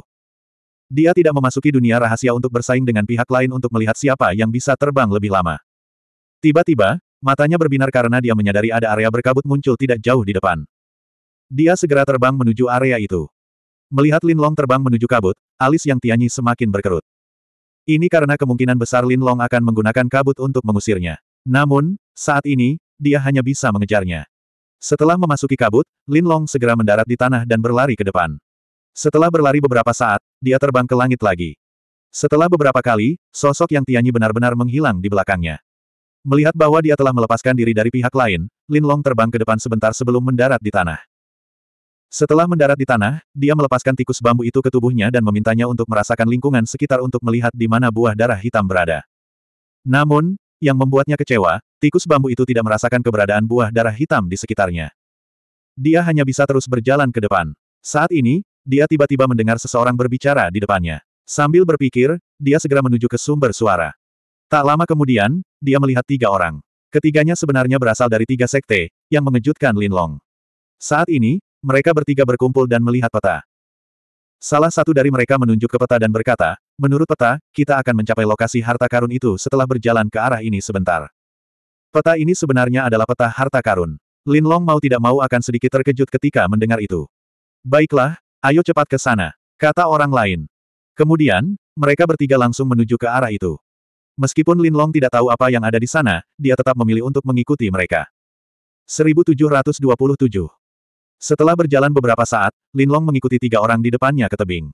Ada pintu masuk gua di tebing. Setelah sampai di sini, mereka bertiga masuk. Lin Long mengikuti di belakang ketiga orang itu. Meskipun salah satu dari mereka berasal dari Sekte Inti Yang, dia tidak mengenalinya. Pada awalnya, lorong itu hanya bisa menampung dua orang, tapi pada akhirnya, tiba-tiba terbuka menjadi sebuah gua yang sangat luas. Di tengah gua terdapat platform batu kecil. Di platform batu, ada kerangka. Di tangan kerangka itu, ada sebuah buku yang tampak menguning. Selain itu, tidak ada apa pun di dalam gua. Mungkinkah ini semacam panduan rahasia? Salah satu dari tiga orang itu tidak bisa menahan diri untuk tidak berseru ketika dia melihat buku di tangan kerangka itu. Itu pasti semacam panduan rahasia, kata orang lain. Lagi pula, ada peta seperti ini, jadi tidak mengherankan kalau ada manual rahasianya, kata orang terakhir. Di antara kita bertiga, siapa yang akan mendapatkannya? Orang pertama bertanya. Aku merasa ada semacam jebakan di sini. Kata orang kedua setelah melihat sekeliling. Kalau begitu, kalian berdua yang memegang kendali. Aku akan memeriksanya dan melihat apakah aku bisa mendapatkan manual rahasianya secara langsung. Kata orang pertama. Tidak apa-apa. Dua lainnya menganggukkan kepala. Segera, orang pertama berjalan menuju kerangka itu. Saat ini, orang kedua yang berbicara di belakangnya tiba-tiba menyerangnya dengan telapak tangan. Karena perhatian orang pertama terfokus ke depan, dia tidak menyangka orang di belakangnya tiba-tiba menyerangnya. Oleh karena itu, dia tidak dapat memblokirnya sama sekali dan langsung terlempar ke arah dinding di depannya. Setelah jatuh ke tanah, dia malah pingsan. Wu Xiao, kenapa kamu begitu hina? Orang ketiga mau tidak mau menjauh dari orang kedua dan memarahi dengan marah. Orang bernama Wu Xiao berasal dari Sekte Inti Yang. Adapun orang ketiga, dia berasal dari Sekte Phoenix Merah. Bukankah normal menjadi tercela di dunia ini? Ambil contoh Master Sekte Anda. Jika dia tidak menggunakan cara tercela, bagaimana dia bisa menjadi Master Sekte? Wu Xiao terkekeh. Itu sama saja, oke. Okay. Kita bertiga adalah sahabat. Orang dari Sekte Phoenix Merah tidak bisa menahan diri untuk tidak berteriak. Sahabat, jadi bagaimana jika kita berteman baik? Jika kamu kuat, tidakkah kamu akan meninggalkanku pada akhirnya? Wu Xiao mencibir. Wu Xiao, Peng He dan aku pasti buta karena bisa mendapatkan teman sepertimu. Melihat Wu Xiao tidak berniat bertobat sama sekali, wajah murid Sekte Scarlet Phoenix juga menjadi suram. Mari kita tentukan pemenangnya. Hanya pemenang yang bisa mendapatkan manual rahasia itu. Wu Xiao berkata dengan dingin. Begitu dia selesai berbicara, dia, yang telah menggenggam pedangnya, segera menyerang orang dari Sekte Phoenix Merah. Orang dari Sekte Phoenix Merah itu juga datang membawa pedangnya. Keduanya mulai bertarung sengit. Orang dari Sekte Scarlet Phoenix jelas lebih lemah, jadi dia jatuh ke posisi yang tidak menguntungkan setelah beberapa saat. Jelas sekali bahwa Wu Xiao telah memperkirakan kekuatan kedua orang ini. Dia hanya melakukan ini setelah dia yakin akan menang. Setelah beberapa gerakan lagi, dia terjatuh ke tanah oleh pedang Wu Xiao. Setelah menebas lawannya, Wu Xiao tidak langsung membunuhnya. Sebaliknya, dia mengambil cincin spasial dari tangan lawannya dan berjalan untuk mengambil cincin spasial dari orang lain, Peng He, sebelum berjalan menuju kerangka itu. Wu Xiao, dasar pria tercela, kenapa kamu tidak membunuhku dengan pedangmu? Orang dari Sekte Scarlet Phoenix di belakangnya berkata dengan marah. Bagaimanapun juga, kita adalah teman. Kenapa aku harus membunuhmu? Wu Xiao terkekeh. Dengan cederanya kedua orang itu, dia tidak khawatir mereka akan bisa keluar hidup-hidup. Oleh karena itu, dia tidak repot-repot melakukan satu langkah terakhir. Saat dia berbicara, dia terus berjalan menuju kerangka itu. Dia sangat takut akan ada semacam jebakan, jadi dia sangat berhati-hati saat berjalan. Namun, tidak ada hal tak terduga yang terjadi. Segera, dia tiba di depan kerangka itu. Setelah menarik napas dalam-dalam, dia mengambil manual rahasia di tangan kerangka itu. Saat dia mengambil manual rahasia, Kerangka itu tiba-tiba berubah menjadi bubuk dan jatuh ke tanah. Di saat yang sama, bayangan hitam tiba-tiba melesat ke arahnya dari depan. Karena terkejut, dia buru-buru mengambil pedang di tangannya dan menebas bayangan hitam di depannya. Bang! Dengan suara seperti itu, bayangan hitam itu terpotong ke samping. Ketika dia melihat bayangan hitam itu dengan jelas, dia menyadari bahwa itu hanyalah sebuah anak panah. Namun, karena kekuatan panahnya terlalu besar, manual rahasia di tangannya jatuh ke tanah. Sial, itu membuatku takut. Kukira ada hal lain. Wu Xiao mengutuk dan membungkuk untuk mengambil manual rahasia di tanah. Pada saat ini, ledakan energi tiba-tiba datang dari belakangnya. Sebelum dia sempat bereaksi, dia sudah dikirim terbang. Ketika dia berdiri dan berbalik, dia menemukan bahwa seorang pemuda telah mengambil manual rahasia yang jatuh ke tanah. Pemuda ini adalah Lin Long, yang telah mengawasi dari samping. Ketika dia melihat bahwa itu adalah Lin Long, Wu Xiao tidak dapat menahan diri untuk tidak berseru, Lin Long, beraninya kamu secara diam-diam menyerang kakak laki-lakimu sendiri dari belakang. Serangan diam-diam. Ini jauh lebih baik daripada metodemu. Lin Long tersenyum acuh tak acuh. Nak, aku akan mengulitimu hidup-hidup dan mencabut urat dagingmu. Wu Xiao meraung. Seperti kebanyakan orang di Sekte Inti Yang, dia masih belum mengetahui kekuatan Lin Long. Oleh karena itu, dia tidak terlalu memikirkan Lin Long. Telapak tangan Lin Long hanya menyebabkan beberapa luka ringan. Tentu saja, ini karena Lin Long hanya melambaikan telapak tangannya dengan santai. Jika dia menggunakan lebih banyak kekuatan, Wu Xiao akan mati. Namun, karena hal inilah Wu Xiao berpikir bahwa serangan diam-diam Lin Long tidak dapat membunuhnya. Oleh karena itu, dia tidak terlalu memikirkan Lin Long. Ini belum berakhir. Aku akan membawamu kembali ke sekte dan memberitahu Master Sekte tentang serangan diam-diammu. Aku akan meminta sekte mengurungmu di ruang bawah tanah sehingga kamu tidak akan pernah melihatnya. Terang hari lagi, Wu Xiao meraung lagi setelah beberapa saat. Wu Xiao, dalam hal tidak tahu malu, adik lelaki ini bahkan tidak bisa. Dibandingkan denganmu, di belakang Lin Long, murid Sekte Scarlet Phoenix menggunakan seluruh kekuatannya untuk berbicara. Kamu harus mati. Tidak ada tempat bagimu untuk berbicara di sini. Wu Xiao memelototi orang itu. Dengan itu, dia mengarahkan pedang panjang di tangannya ke arah Lin Long dan berkata dengan dingin, Lin Long, aku akan memberitahumu konsekuensi dari membuat marah monster kelas 3 tingkat 2. Begitu dia selesai berbicara, bayangan hitam muncul di belakangnya. Bayangan hitam itu tampak seperti landak. Lin Long, kenapa kamu belum mengaktifkan Sirius chatmu? Murid Scarlet Phoenix Sekte bertanya dengan rasa ingin tahu. Dia pernah mendengar tentang Lin Long dan mengetahui bahwa Lin Long memiliki bakat asal kucing Sirius. Dia tentu saja terkejut karena Lin Long tidak menggunakannya pada saat yang begitu penting. Aku tidak membutuhkan bakat asal kucing Sirius untuk menghadapi orang ini, kata Lin Long acuh tak acuh. Tidak membutuhkannya. Hahaha, kamu benar-benar penuh dengan dirimu sendiri. Wu Xiao tidak bisa menahan tawa. Dia masih sedikit takut dengan kucing Sirius Linlong. Lagi pula, bakat asal kucing Sirius lebih kuat daripada landaknya. Sekarang Linlong tidak menggunakannya, dia secara alami senang. Nak, karena kamu terlalu percaya diri, aku akan mengirimmu pergi. Wu Xiao berkata dengan dingin setelah dia berhenti tertawa. Dengan itu, pedang panjang di tangannya melesat ke arah Linlong. Linlong segera menghadapi serangan itu dengan pedangnya.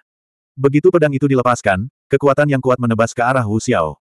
Ekspresi Wu Xiao berubah drastis saat dia merasakan kekuatan aura pedang Linlong. Pada saat ini, dia menyadari bahwa Linlong memiliki kekuatan seorang Beastmaster kelas 2 puncak. Bahkan jika Linlong tidak mengaktifkan bakat asalnya, dia tetap bukan seseorang yang bisa dia tangani. Seperti yang diharapkan, ketika kekuatan itu menyerang, Wu Xiao segera terlempar. Murid Sekte Scarlet Phoenix, yang mengkhawatirkan Linlong, tidak bisa menahan senyum ketika dia melihat Wu Xiao dikirim terbang. Dia, yang telah bertahan begitu lama, tidak bisa bertahan lebih lama lagi. Dia segera meninggal. Adapun Lin Long, dia berjalan menuju Wu Xiao. Lin Long, kamu, bagaimana kabarmu begitu kuat? Wu Xiao terkejut ketika dia melihat Lin Long berjalan ke arahnya. Aku tidak perlu memberitahumu hal itu, kata Lin Long sambil tersenyum tipis. Lin Long, kamu tidak bisa membunuhku. Aku bisa memberimu semua asetku, teriak Wu Xiao ketika dia melihat Lin Long berniat membunuhnya. Namun, Sebelum dia bisa menyelesaikan kalimatnya, pedang panjang Lin Long telah menebas tenggorokannya.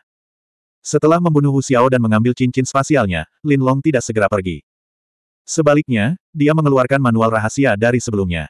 Dia sekarang yakin tidak ada bahaya di sini. Lin Long memusatkan perhatiannya pada manual rahasia dan memperhatikan ada empat kata yang tertulis di dalamnya, teknik pedang meteor. Lin Long membukanya dan melihat pendahuluan. Teknik pedang meteor ini adalah teknik pedang tingkat bawah tingkat bumi. Setelah menguasainya, teknik pedang yang digunakan akan menjadi seperti meteor. Lin Long tidak bisa menahan senyum ketika melihat perkenalannya. Teknik pedang meteor ini lebih kuat dari teknik pedang ular roh yang dia kuasai sebelumnya. Bagaimanapun, itu adalah teknik pedang tingkat bumi. Dengan teknik pedang ini, saya seharusnya bisa menghadapi Yang Tianyi. Lin Long berpikir dalam hati. Meskipun teknik pedang angin mendalam Yang Tianyi adalah teknik pedang kelas menengah tingkat bumi, Lin Long yakin bahwa dia bisa mengatasinya setelah menguasai teknik pedang meteor. Pada saat itu, Lin Long dengan serius mempelajari teknik pedang meteor. Setelah menghabiskan beberapa waktu, dia selesai membaca seluruh teknik pedang meteor dan bersiap untuk sementara waktu. Dia, yang awalnya berdiri diam di tempat, tiba-tiba mengayunkan pedang panjang di tangannya. Setelah dia mengayunkan pedangnya, dia tidak berhenti. Dia hanya berhenti ketika dia menggunakan seluruh rangkaian teknik pedang. Dia puas dengan teknik pedang ini karena jelas lebih kuat dari teknik pedang ular roh. Setelah berlatih sebentar dan menguasai teknik pedang ke alam penguasaan lebih besar, Lin Long meninggalkan tempat itu. Begitu dia pergi, dia melepaskan tikus bambu itu. Setelah berjalan beberapa saat, senyuman muncul di wajahnya karena tikus bambu itu merasakan kehadiran buah darah hitam di depannya. Lin Long segera berjalan ke arah itu. Setelah mendekati tempat itu, dia tidak bisa menahan diri untuk tidak mengerutkan kening karena dia dapat dengan jelas mendengar suara pertempuran sengit di depan. Setelah mengambil beberapa langkah ke depan, Lin Long melihat seseorang berkelahi dengan beberapa monyet di udara. Orang itu tidak lain adalah Yang Tianyi, yang mengejarnya. Alasan dia bertarung dengan monyet-monyet itu adalah karena ada pohon darah hitam di tengah-tengah mereka. Buah darah hitam masih tergantung di pohon, yang membuat Lin Long merasa lega. Dia tidak terburu-buru secara langsung karena jika dia melakukannya, dia pasti akan diserang oleh monyet-monyet itu dan buah darah hitam mungkin akan direnggut oleh Yang Tianyi. Lin Long juga melihat mengapa Yang Tianyi terbang di udara. Itu karena dia ingin memancing monyet-monyet itu keluar dan menghadapinya satu persatu. Jelas lebih mudah dengan cara ini. Namun, jelas monyet-monyet itu tidak tertipu oleh tipuannya. Pada akhirnya, Yang Tianyi hanya bisa mendarat di tanah dan berencana untuk melawan monyet-monyet itu secara langsung. Kekuatannya lebih kuat dari monyet-monyet itu, jadi jika dia melawan mereka secara langsung, paling tidak dia akan menderita beberapa luka. Alasan kenapa dia mendarat di tanah adalah karena kekuatan serangannya lebih kuat di tanah daripada di langit. Begitu dia mendarat, Yang Tianyi segera bertarung lagi dengan monyet-monyet itu. Lin Long masih belum menyelesaikannya karena ini bukan waktu terbaik. Masih ada satu atau dua monyet di bawah pohon darah hitam. Setelah menunggu beberapa saat, ketika dua kera dibunuh oleh Yang Tianyi, dua kera lainnya di bawah pohon darah hitam meraung dan bergegas keluar. Sekarang adalah kesempatannya, jadi Lin Long segera bergegas keluar. Segera, dia tiba di bawah pohon darah hitam. Kemudian, saat Yang Tianyi dan para monyet dalam keadaan linglung, dia memetik buah darah hitam dan meletakkannya di pelukannya. Setelah dia melakukan itu, monyet-monyet itu langsung berbalik dan menyerangnya. Lin Long tidak memberi mereka kesempatan untuk menyerangnya. Dia langsung mengaktifkan bakat asal elang merah dan terbang ke langit. Monyet-monyet itu tidak bisa terbang, jadi mereka hanya bisa menangis. Yang Tianyi berbeda. Dia segera mengejar Lin Long. Lin Long, bocah nakal, aku pasti tidak akan membiarkanmu melarikan diri kali ini. Di belakang Lin Long, Yang Tianyi meraung dengan marah. Lin Long tidak bisa diganggu olehnya dan terbang ke depan dengan kecepatan penuh. Hanya ketika monyet-monyet di bawah menghilang barulah dia turun dari udara. Apa yang sedang dilakukan Lin Long? Melihat tidak ada kabut di depan, Lin Long turun. Yang Tianyi merasa bingung. Takut Lin Long telah memasang jebakan di bawah, dia tidak berani turun secara langsung. Sebaliknya, dia terbang sebentar di udara dan memastikan bahwa tidak ada jebakan sebelum mendarat di depan Lin Long. Meski begitu, dia tidak bisa menahan diri untuk bertanya, Lin Long, apa yang sedang kamu lakukan? Aku tidak melakukan apa-apa. Aku hanya ingin bertengkar denganmu. Lagi pula, melarikan diri saat aku melihatmu bukanlah solusi. Lin Long tersenyum acuh tak acuh. Bertarung denganmu. Apakah kamu pikir kamu cocok untukku? Yang Tianyi mencibir. Aku bukan tandinganmu sebelumnya, tapi sekarang berbeda, kata Lin Long. Cek-cek, jangan bilang kamu sudah berkembang pesat dalam waktu sesingkat ini. Yang Tianyi mencibir lagi. Meskipun Lin Long telah memperoleh bakat asal elang merah, elang merah hampir sama dengan elang mistik angin. Selain itu, talenta asal dari kedua binatang itu tidak dapat ditumpuk. Yang Tianyi secara alami tidak percaya bahwa kekuatan Lin Long akan banyak berubah. Kamu akan tahu setelah kamu mencobanya, kata Lin Long. Baiklah, kalau begitu aku akan coba lagi. Tapi kali ini, aku pasti tidak akan membiarkanmu kabur. Yang Tianyi berkata dengan dingin. Saat dia berbicara, dia mengambil pedang panjangnya dan mengambil posisi berdiri. 1728. Pada saat yang sama, sosok hitam muncul di belakang Yang Tianyi. Itu adalah Feng Xuanying. Kemudian, dia menusukkan pedangnya ke Yang Tianyi. Dia secara alami menggunakan teknik pedang meteor yang baru saja dia pelajari.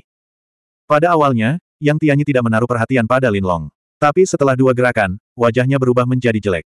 Dia menemukan bahwa teknik pedang Lin Long tidak semudah sebelumnya. Jelas sekali bahwa Lin Long telah menggunakan teknik pedang yang lebih kuat. Setelah teknik pedang dilakukan, itu seperti meteor yang melesat melintasi langit. Saya baru saja mendapatkannya dari gua tertentu. Lin Long tersenyum tipis. Menurutnya, tidak ada seorang pun yang bisa menguasai teknik pedang baru dalam waktu sesingkat itu. Oleh karena itu, dia tentu saja tidak mempercayai kata-kata Lin Long. Lupakan saja jika kamu tidak percaya padaku. Lin Long berkata dengan acuh tak acuh. Begitu dia selesai berbicara, Yang Tianyi menyerang Lin Long dengan pedangnya lagi. Bang, bang, bang. Ini karena dia menyadari bahwa meskipun teknik pedang angin mendalam miliknya memiliki level yang lebih tinggi daripada teknik pedang meteor Linlong, teknik itu sepenuhnya ditekan oleh lawannya. Karena dia belum sepenuhnya memahami teknik pedang angin mendalam, tidak mengejutkan jika teknik pedang meteor Linlong membalasnya. Meskipun dia tidak ingin mempercayainya, penguasaan teknik pedang meteor oleh Linlong memaksanya untuk berpikir ke arah itu. Sambil berteriak, Yang Tianyi mundur dengan cemberut. Jelas sekali dia telah terluka oleh pedang Linlong. Saat berikutnya, Yang Tianyi ingin memaksa Lin Long kembali seperti sebelumnya agar dia bisa melarikan diri. Namun, Lin Long tidak memberinya kesempatan seperti itu. Pedang panjang di tangannya terus menyerang titik vital Yang Tianyi.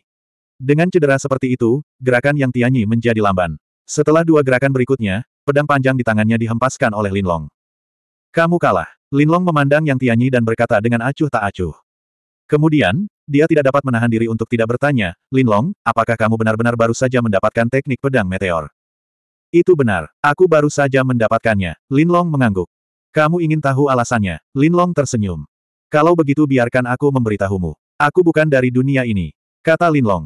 Itu benar. Lin Long mengangguk. Aku akan mengatakannya lagi. Lupakan saja jika kamu tidak percaya padaku. Dengan itu, Lin Long mengangkat pedang di tangannya. Kamu salah. Bahkan jika Grandmastermu berada di posisimu saat ini, aku akan tetap menyerang tanpa ragu-ragu. Lin Long menjawab dengan acuh tak acuh. Bang! Pada saat ini, tanda muncul di tubuh Yang Tianyi. Rune itu tampak mirip dengan rune Tracing Mark. Dia merasa lega karena bisa menyingkirkannya. Dia belum cukup kuat, jadi dia tidak ingin Sekte Ulat Sutra Surgawi mengetahui bahwa dialah yang membunuh Yang Tianyi. Selain itu, ada beberapa hal lainnya. Apa yang membuat matanya bersinar adalah sebuah manual rahasia dengan tulisan, teknik pedang angin mendalam tertulis di atasnya. Setelah mengangguk, dia berbalik dan hendak pergi. Pada saat itu, dia ingat Yang Tianyi mengenakan baju besi. Jika bukan karena baju besi itu, Yang Tianyi akan kalah lebih cepat. Ini baju besi sutra, pikir Linlong dalam hati sambil melihat sutra di baju besi itu. Meskipun baju besi sutra ini sangat berharga, Linlong tidak tertarik padanya. Ini karena dia memiliki teknik tubuh, yang jauh lebih kuat dari baju besi sutra ini. Sekte Guru, kabar buruk, Master Sekte Ulat Sutra Surgawi mendengar suara sesepuh dari luar bahkan sebelum dia masuk. Master Sekte, lilin yang melambangkan nasib yang Tianyi di aula bagan kelahiran telah padam. Penatuafu berkata dengan terengah-engah. Yang Tianyi adalah masa depan Sekte Ulat Sutra Surgawi. Dia sudah menganggap Yang Tianyi sebagai Master Sekte berikutnya. Jika sesuatu terjadi pada Yang Tianyi, itu akan menjadi kerugian besar bagi Sekte Ulat Sutra Surgawi. Jika itu terjadi, mereka mungkin kalah dengan sekte lain. Oleh karena itu, bagaimana mungkin dia tidak terkejut? Aku akan memeriksanya. Wajah Master Sekte Ulat Sutera Surgawi menjadi dingin. Dia segera bergegas keluar dari aula dan menuju aula bagan kelahiran. Ini berarti Yang Tianyi telah meninggal. Selain Yang Tianyi, ada dua murid berbakat lainnya. Elder Fu, Tianyi dan yang lainnya seharusnya berada di alam rahasia Gunung Siang Han, kan? Master Sekte Ulat Sutra Surgawi mengerutkan kening dan bertanya pada Penatua Fu. Dengan kata lain, mereka dibunuh oleh murid dari dua sekte lainnya. Tebak Master Sekte Ulat Sutra Surgawi. Baiklah, aku ingin melihat siapa yang berani membunuh Tianyi. Master Sekte Ulat Sutra Surgawi segera berjalan di depan lilin yang Tianyi yang padam. Master Sekte Ulat Sutra Surgawi segera meletakkan tangannya di atas kayu dan menstimulasi energi di tubuhnya. Begitu rune mulai berkedip, layar cahaya tiba-tiba muncul di depan Master Sekte Ulat Sutra Surgawi. Kemudian, Yang Tianyi, yang berada di sebelah kiri, dihantam ke tanah oleh pedang lawan. Orang yang membunuh Tianyi adalah seseorang dengan bakat asal kucing Sirius. Penatua Fu berteriak dari samping. Setelah mengatakan itu, dia segera keluar dari aula bagan kelahiran dan terbang menuju Gunung Sianghan. Linlong tentu saja tidak mengetahui hal ini. Pada saat ini, dia sedang mencari tempat rahasia untuk mengolah teknik pedang angin mendalam yang Tianyi. Setelah itu, dia berjalan keluar dan terus melepaskan tikus bambu tersebut untuk mencari buah darah hitam lainnya. Selama periode waktu ini, kekuatannya telah mencapai ranah murid binatang kelas 2. Setelah berjalan beberapa saat, senyuman muncul di wajah Linlong karena tikus bambu tersebut menemukan keberadaan buah darah hitam tidak jauh dari situ. Adapun yang lainnya, mereka juga tidak lemah. Monyet-monyet itu tidak punya peluang menang melawan mereka. Oleh karena itu, ia langsung terbang hingga ketinggian tertentu, lalu langsung menukik ke bawah. Saat ini, Zengge dan yang lainnya masih bertarung dengan monyet-monyet itu. Zengge dengan jelas melihat Linlong, dan dia tidak bisa menahan diri untuk tidak berseru kaget. Bahkan orang yang paling dekat dengannya pun sama. Oleh karena itu, mereka hanya bisa menyaksikan Linlong mengambil buah darah hitam. Pada saat berikutnya, Zheng Ge, yang meraung dengan marah, langsung bergegas mendekat dan menembakkan pedangnya ke arah Linlong. Zheng Ge, terima kasih atas buah darah hitam murid Sekte Ulat Sutra Surgawi. Linlong tidak bisa menahan senyum ketika dia melihat Zheng Ge yang bingung dan jengkel. Pada saat ini, dia benar-benar menyesal tidak terburu-buru mengambil buah darah hitam tepat waktu. Kalau tidak, dia tidak akan memberi Linlong kesempatan. Aku sedang sibuk sekarang, jadi aku tidak akan bermain dengan kalian lagi. Aku pergi dulu, kata Linlong, mengabaikannya. Zheng Ge bukan satu-satunya yang marah. Orang-orang lain dari Sekte Ulat Sutra Surgawi juga sangat marah. Mereka dengan susah payah menemukan dan mengalahkan monyet-monyet itu, namun pada akhirnya, mereka telah bekerja keras untuk Linlong. Namun, saat dia selesai berbicara, Linlong sudah tidak terlihat di langit. 1729 setelah meninggalkan tempat itu, Linlong terus melepaskan tikus bambu itu untuk merasakan buah darah hitam. Namun, tikus bambu tersebut masih tidak merasakan keberadaan buah darah hitam bahkan setelah dua jam. Mungkinkah buah darah hitamnya hilang? Pikiran itu terlintas di benak Linlong.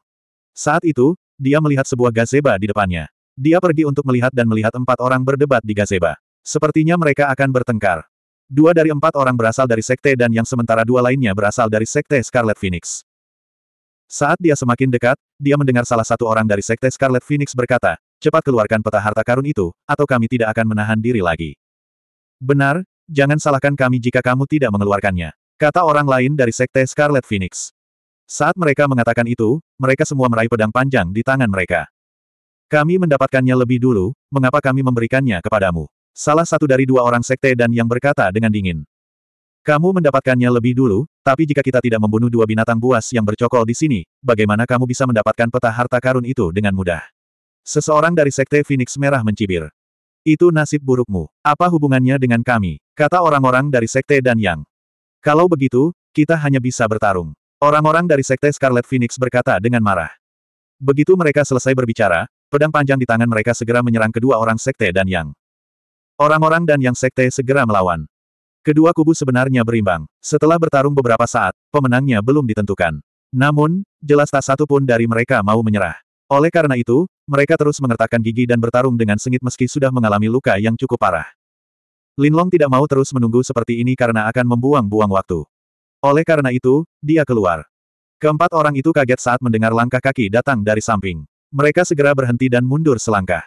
Memalingkan kepala, mereka melihat Linlong tiba-tiba muncul. Linlong, kamu datang pada waktu yang tepat. Bantu aku menghadapinya. Kedua orang sekte dan yang langsung senang saat melihat Linlong. Meskipun si Majian ingin mereka berurusan dengan Linlong, dia berasal dari sekte dan yang. Oleh karena itu, mereka tentu saja meminta bantuannya ketika mereka melihatnya. Aku bisa membantu. Namun, serahkan peta harta karunmu agar aku melihatnya terlebih dahulu, kata Linlong sambil tersenyum tipis.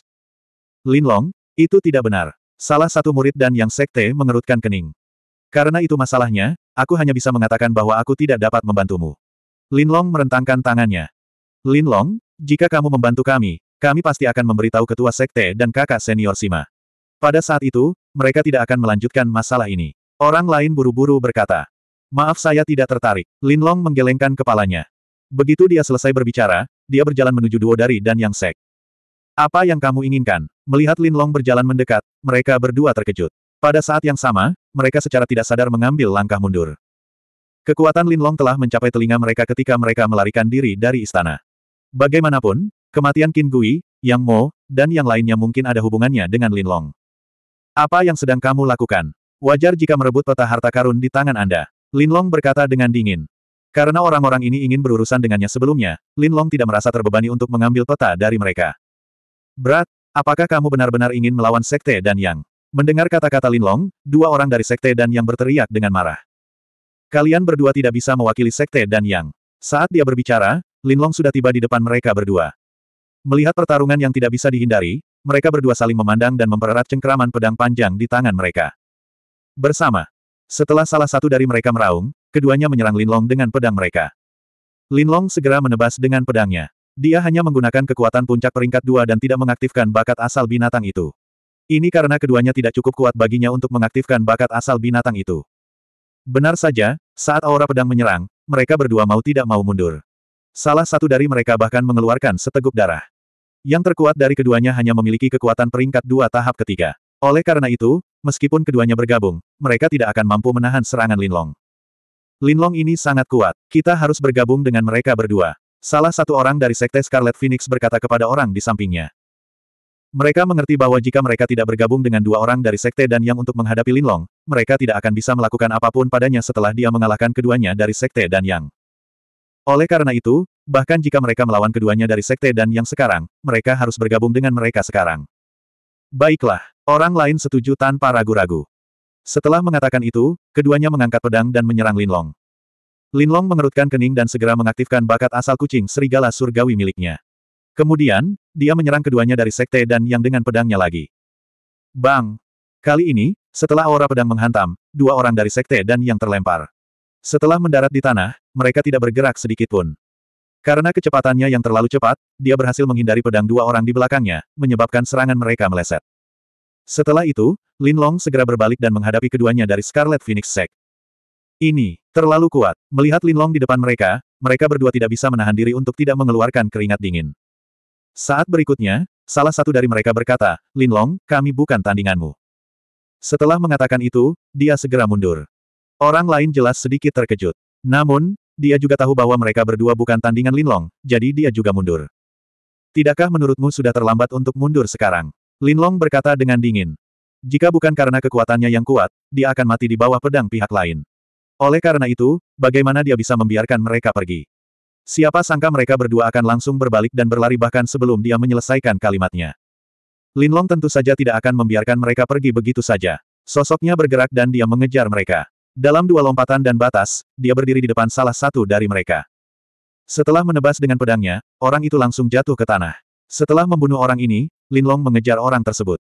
Setelah menghabiskan beberapa waktu, dia membunuh orang kedua. Setelah mengambil cincin spasial dari dua orang itu, Lin Long berjalan ke arah keduanya dari Sekte Scarlet Yang. Setelah mengambil cincin spasial mereka, Lin Long memperoleh peta harta karun dari salah satu dari mereka. Dengan peta harta karun ini, kamu dapat menemukan buah teratai putih. Ada kalimat seperti itu di bagian bawah peta harta karun. Melihat kalimat ini, mata Lin Long langsung berbinar. Buah teratai putih adalah bahan yang sangat langka yang digunakan untuk membuat pil teratai putih. Pil teratai putih bukanlah pil biasa. Makhluk level 2 mana pun pasti menginginkan pil ini. Alasannya sangat sederhana. Hanya dengan meminum pil ini seseorang dapat dengan cepat menerobos kemacetan dan mencapai alam binatang level 3 ketika mereka mencapai puncak level 2. Sangat sulit bagi binatang buas di puncak level 2 untuk menerobos ke alam binatang level 3. Bahkan jika seseorang berbakat, biasanya butuh beberapa tahun untuk menerobos ke alam binatang level 3. Karena hal inilah yang Tianyi, si Majian, Zheng Ge, dan yang lainnya terjebak di puncak level 2. Kalau tidak, mereka pasti sudah menjadi monster level 3 sejak lama. Tetapi dengan pil teratai putih, akan berbeda. Setelah meminumnya, seseorang dapat sepenuhnya menembus kemacetan puncak level 2 dalam waktu singkat. Sedangkan untuk buah teratai putih, itu adalah bahan yang diperlukan untuk membuat pil teratai putih. Apalagi itu sangat jarang terjadi. Tidaklah berlebihan untuk mengatakan bahwa itu sangat berharga. Jadi, bagaimana mungkin Lin Long tidak senang melihat kalimat ini? Meskipun Lin Long dapat dengan mudah menyerap energi dari pil pengolahan Yuan dan buah darah hitam dan menggunakannya untuk meningkatkan kekuatannya dengan cepat. Namun, dia tidak berani menjamin bahwa dia bisa dengan cepat menembus kemacetan ketika dia mencapai puncak level 2. Oleh karena itu, tidak ada cara yang lebih baik untuk mendapatkan pil teratai putih ini. Setelah mengidentifikasi lokasi di peta dengan cermat, Lin Long segera terbang dengan kecepatan penuh menuju tempat di mana buah teratai putih mungkin berada. Menurut peta, tempat itu seharusnya adalah sebuah gua. Setelah menghabiskan waktu untuk minum secangkir teh, dia sampai di dekat tempat itu. Namun, melihat ke depan, dia tidak bisa menahan diri untuk tidak mengerutkan kening karena sekelompok murid Sekte Scarlet yang berada di dekat gua. Salah satunya adalah si Majian. Yang mengejutkan Lin Long, pada saat itu, sekelompok orang lain bergegas dari arah lain. Kelompok orang ini berasal dari Sekte Ulat Sutera Surgawi, dan pemimpin mereka adalah kakak senior Siong. Si Majian jelas terkejut melihat kakak senior Siong. Siong Guoshan, bagaimana kalian menemukan tempat ini? Si Majian mengerutkan kening. Saudara senior Sima, ada peta di mana-mana yang menunjukkan tempat ini. Tidak sulit menemukan tempat ini, kata Siong Guoshan sambil tersenyum. Meskipun Sekte Ulat Sutra Surgawi lebih kuat dari Sekte Scarlet yang di permukaan, kekuatan Siong Guoshan lebih lemah dari si Majian. Oleh karena itu, dia tidak berani untuk tidak menghormati si Majian. Hah, Majian mendengus dingin. Namun, dia jelas sedang melihat anggota Sekte Ulat Sutra Surgawi lainnya. Tak perlu dikatakan lagi, dia sedang mencari Yang Tianyi. Bagaimanapun, Yang Tianyi adalah satu-satunya orang yang bisa mengancamnya. Benar saja, si Majian bertanya, di mana kakak tertuamu? Saya tidak tahu ke mana kakak senior yang pergi. Mungkin dia sedang berurusan dengan monyet-monyet itu di suatu tempat untuk mendapatkan buah darah hitam, kata Siong Guoshan. Oh, si Majian mengangguk. Dia secara alami menghela nafas lega. Namun, Ekspresinya dengan cepat berubah menjadi jelek karena sekelompok orang lain bergegas dari sisi lain. Ketika dia mendekat, dia melihat bahwa itu adalah orang-orang dari Sekte Scarlet Phoenix. Terlebih lagi, orang yang memimpin mereka adalah Zheng Ge. Eh, kakak Sima, Xiong Guoshan, kalian sudah lama berada di sini. Zheng Ge terkejut melihat si Majian dan Xiong Guoshan. Itu benar, si Majian mengangguk. Namun, kenapa kalian belum masuk? Zheng Ge bertanya lagi. Pintu masuk gua disegel. Belum dibuka. Kami baru mencobanya dan perlu menunggu beberapa saat, kata si Majian. Namun, dia berpikir, jika bukan karena itu, kita pasti sudah masuk sejak lama. Kalian bahkan tidak punya kesempatan. Oh, begitukah? Apakah kamu membutuhkan bantuan kami? Zheng Ge bertanya. Tidak perlu, kata si Majian. Benar saja, setelah beberapa saat, dua orang dari Sekte Scarlet yang di depan menepukkan telapak tangan mereka ke depan dua kali. Rune tiba-tiba muncul di batu besar yang menghalangi pintu masuk. Kemudian, tiba-tiba meledak, memperlihatkan pintu masuk gua yang gelap. Baiklah, ayo masuk semua, ajak si Majian. Bagaimanapun, mereka pernah bekerja sama sebelumnya. Selain itu, mereka tidak tahu apa yang terjadi di dalam, jadi tentu saja mereka tidak akan bergerak secepat itu. Saat itu, si Majian dan Zheng Ge berjalan di depan sementara yang lain mengikuti di belakang mereka. Tidak semuanya masuk. Sebaliknya, Masing-masing sekte meninggalkan dua orang untuk berjaga di luar, takut terjadi sesuatu di luar. Lin Long, yang bersembunyi tidak jauh, secara alami melihat pemandangan ini. Setelah orang-orang itu masuk, dia membuat keributan di depannya. Hem, ada gerakan di balik batu itu. Mendengar suara seperti itu, salah satu dari enam orang yang menjaga pintu masuk gua berbicara sedemikian rupa. Sepertinya itu suara binatang buas. Mari kita kirim satu orang dari setiap sekte untuk melihatnya, saran seseorang. Baiklah. Usul seperti itu langsung disetujui. Segera, mereka bertiga berjalan menuju batu tempat Lin Long berada. Ketika mereka sampai di depan batu besar, bayangan hitam tiba-tiba muncul dari balik batu dan menyerang mereka bertiga dengan pedang. Bayangan hitam ini adalah Lin Long. Dia langsung menggunakan kekuatan terkuatnya dalam serangan itu. Oleh karena itu, bagaimana mungkin dua orang di depannya bisa menjadi tandingannya? Mereka langsung dibunuh oleh pedangnya. Itu kamu. Melihat bahwa itu adalah Lin Long, orang lain tidak bisa menahan diri untuk tidak berseru.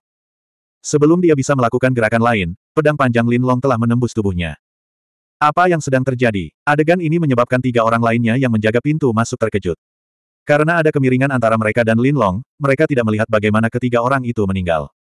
Ada yang tidak beres. Aku akan masuk dan melapor. Kalian tetap di sini. Salah satu orang dari Sekte Scarlet Phoenix segera berkata. Aku akan masuk. Kalian tetap di sini, kata orang dari Sekte Scarlet Phoenix buru-buru.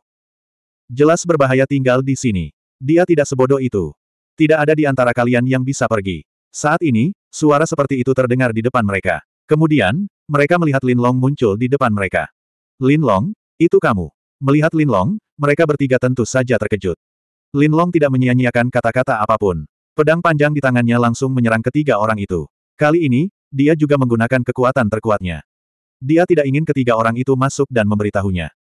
Setelah dua gerakan, ketiga orang itu langsung dibunuh olehnya. Setelah mengambil cincin spasial mereka, Lin Long segera masuk. Di depannya ada lorong yang bisa menampung lima hingga enam orang sekaligus.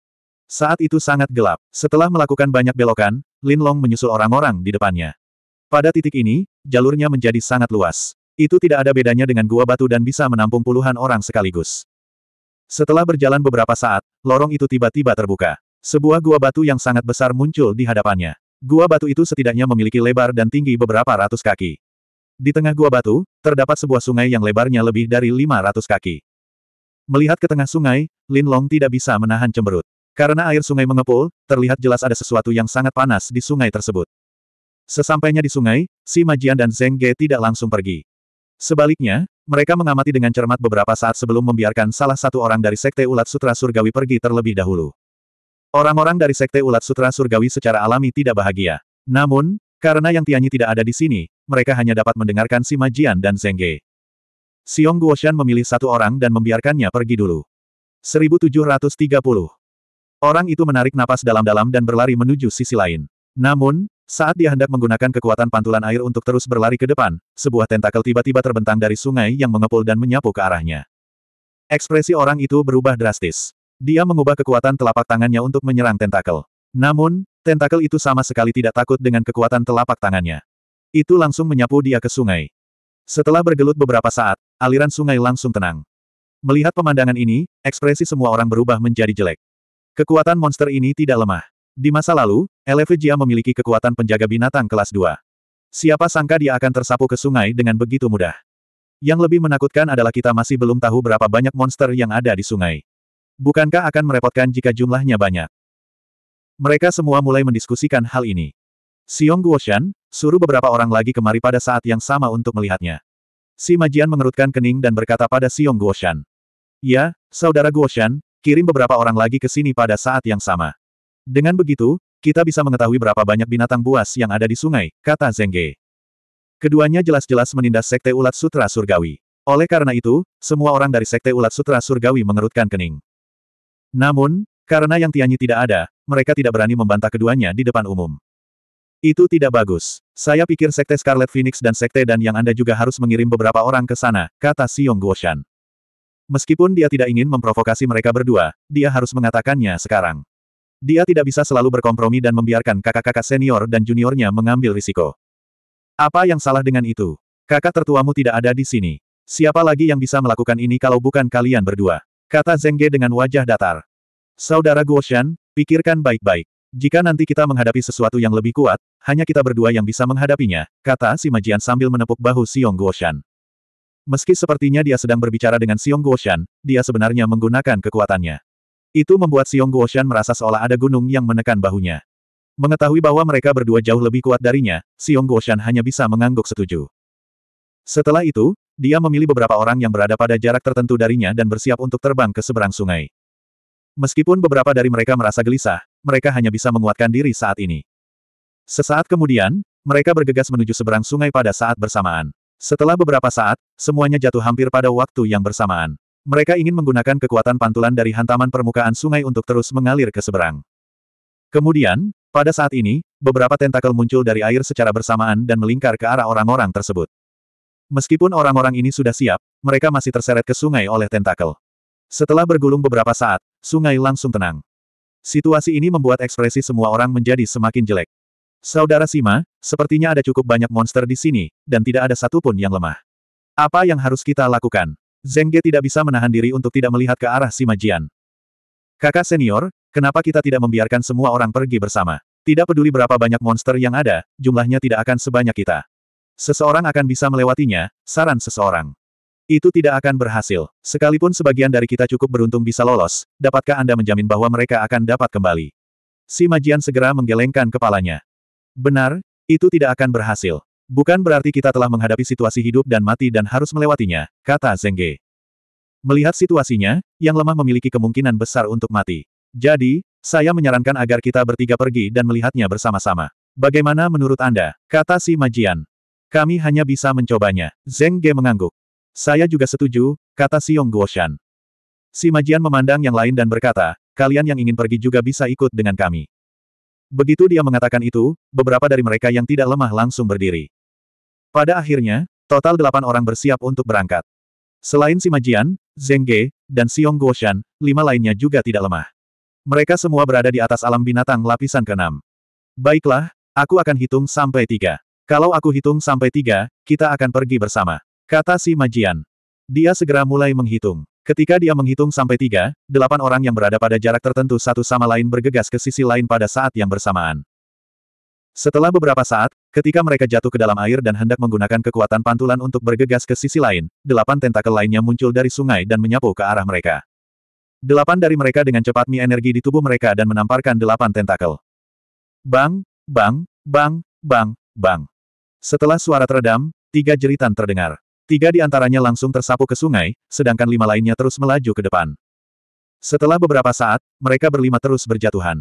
Pada saat ini, lima tentakel lainnya muncul dari air dan menyapu ke arah mereka. Yang membuat wajah kelima orang itu menjadi jelek adalah energi dari tentakel kali ini jelas lebih kuat dari sebelumnya. Mereka berlima hanya bisa mi energi telapak tangan mereka untuk menyerang lima tentakel. Ah! Dua jeritan lainnya bergema di seluruh gua. Kemudian, dua orang yang berteriak itu langsung tersapu ke dalam sungai. Setelah itu, tiga orang yang tersisa bergegas ke sisi lain. Mereka yang terkuat, Si Majian, Zheng Ge, dan Xiong Guoshan. Namun, ketika mata semua orang beralih ke Xiong Guoshan, wajah mereka langsung berkedut karena lengan kanan Xiong Guoshan telah terpelintir pada suatu saat. Wajah Xiong Guoshan pucat. Ia bahkan merasa sedikit menyesal karena jika ia tidak datang, tidak akan terjadi apa-apa. Sekarang dia telah kehilangan lengannya, bahkan jika mereka bisa mendapatkan buah teratai putih, itu akan sia-sia. Selain itu, sulit untuk mengatakan apakah mereka bisa kembali atau tidak. Monster di dalam terlalu kuat. Untungnya kita tidak datang bersama-sama, kata si Majian dengan wajah muram. Ya, Zheng Ge mengangguk. Hal yang paling menakutkan adalah, dari awal hingga akhir, kami tidak bisa melihat penampakan monster-monster ini secara utuh. Kalau kita tidak bisa memasukkan buah teratai putih ke dalam, kita kasihan pada saudara-saudara kita, kata si Majian. Baiklah, mari kita lanjutkan, kata Zheng Ge. Ada sebuah lorong kecil di depan mereka. Saudara Zheng, saudara si Majian, kalian berdua duluan. Saya akan istirahat sebentar, kata Xiong Guoshan sambil mengertakkan gigi. Baiklah, kita berdua duluan dulu, kata Zheng Ge setelah melirik Xiong Guoshan. Setelah mengatakan itu, dia dan si Majian segera berjalan menuju lorong di depan mereka. Pada saat ini, bayangan hitam tiba-tiba muncul di lorong di depan mereka. Ketika mereka berdua melihatnya, mereka terkejut melihat bahwa itu adalah monster. Monster ini bertubuh banteng dan berkepala macan tutul. Kelihatannya sangat aneh. Tak hanya aneh, keduanya juga bisa merasakan aura kuat dari monster tersebut. Sepertinya itu adalah binatang tingkat dua puncak. Si Majian mengerutkan kening. Seharusnya begitu, Zeng Ge mengangguk. Saudara Zeng, ayo kita pancing ke sini. Jalan itu sempit, kita tidak bisa membunuhnya pada saat yang sama, saran si Majian. Baiklah, Zeng Ge mengangguk. Setelah mengatakan itu, mereka berdua berjalan ke depan, mencoba memancing monster itu. Namun, yang membuat mereka tidak berdaya adalah bagaimanapun mereka bergerak, monster itu tidak bergerak sama sekali. Bahkan tidak ada niat membunuh di matanya. Sambil mengerutkan kening, Zheng Ge mengambil batu dari tanah dan melemparkannya ke monster itu. Bang! Dengan suara yang begitu keras, batu itu dengan kejam menghantam tubuh monster itu. Mengaum. Monster itu segera mengeluarkan raungan marah. Namun, meski begitu, keduanya terdiam. Meski begitu, monster itu masih berdiri di tempat yang sama, tidak bergerak sedikit pun. Sepertinya kita hanya bisa membunuh dengan cara kita sendiri. Zheng Ge berkata dengan ekspresi muram. Saudara Zheng, apakah kamu akan pergi atau haruskah aku pergi? Si Majian bertanya. Kamu pergi duluan, aku akan menjaga antrean untukmu, kata Zheng Ge. Zheng Ge mengira si Majian akan keberatan, tapi dia tidak menyangka si Majian akan langsung setuju. Baik-baik saja maka. Setelah berkata begitu, si Majian segera berjalan menuju lorong. Situasi keduanya secara alami terlihat jelas oleh orang-orang di belakang mereka. Si Majian dengan cepat berjalan di depan monster itu. Saat ini, dia sudah mengeluarkan pedang panjangnya. Menghadapi binatang buas dengan kekuatan serupa dengannya, dia tidak berani gegabah. Dengan sangat cepat, dia menyerang monster di depannya dengan pedangnya. Meskipun monster itu menghindar ke samping, karena ruangnya sempit, dia tidak bisa mengelak sama sekali. Tubuhnya langsung terkena pedang si Majian. Yang membuat wajah si Majian menjadi jelek adalah pertahanan monster itu yang luar biasa. Pedangnya sebenarnya tidak melukai sama sekali. Untungnya, monster ini tidak mengambil inisiatif menyerang, jika tidak, dia akan mendapat masalah. Wajahnya tenggelam, dan bayangan hitam segera muncul di belakang si Majian. Jelas sekali, dia telah merangsang bakat bawaan binatang buasnya. Saat berikutnya, dia menyerang monster itu dengan pedangnya. Bang, bang, bang. Setelah beberapa tebasan, dia dengan paksa menggunakan serangannya sendiri untuk menghancurkan monster itu ke samping. Memanfaatkan kesempatan ini, dia segera bergegas menuju celah yang dihindari monster itu. Saat monster itu berdiri di posisi semula, dia sudah bergegas mendekat. Saat ini, monster itu tidak berbalik untuk menyerangnya. Jelas sekali, monster ini hanya menjaga bagian ini. Jika seseorang ingin melewati bagian ini, mereka harus menantangnya seperti si Majian. Kalau tidak, mereka tidak akan bisa lewat. Menyadari hal ini, Zheng Ge buru-buru berjalan menuju lorong. Karena si Majian sudah pergi, dia tidak ingin si Majian mengalahkannya. Tentu saja, dia harus bergegas. Pada saat ini, yang mengejutkan semua orang, seseorang di antara kerumunan itu tiba-tiba mendekati sungai.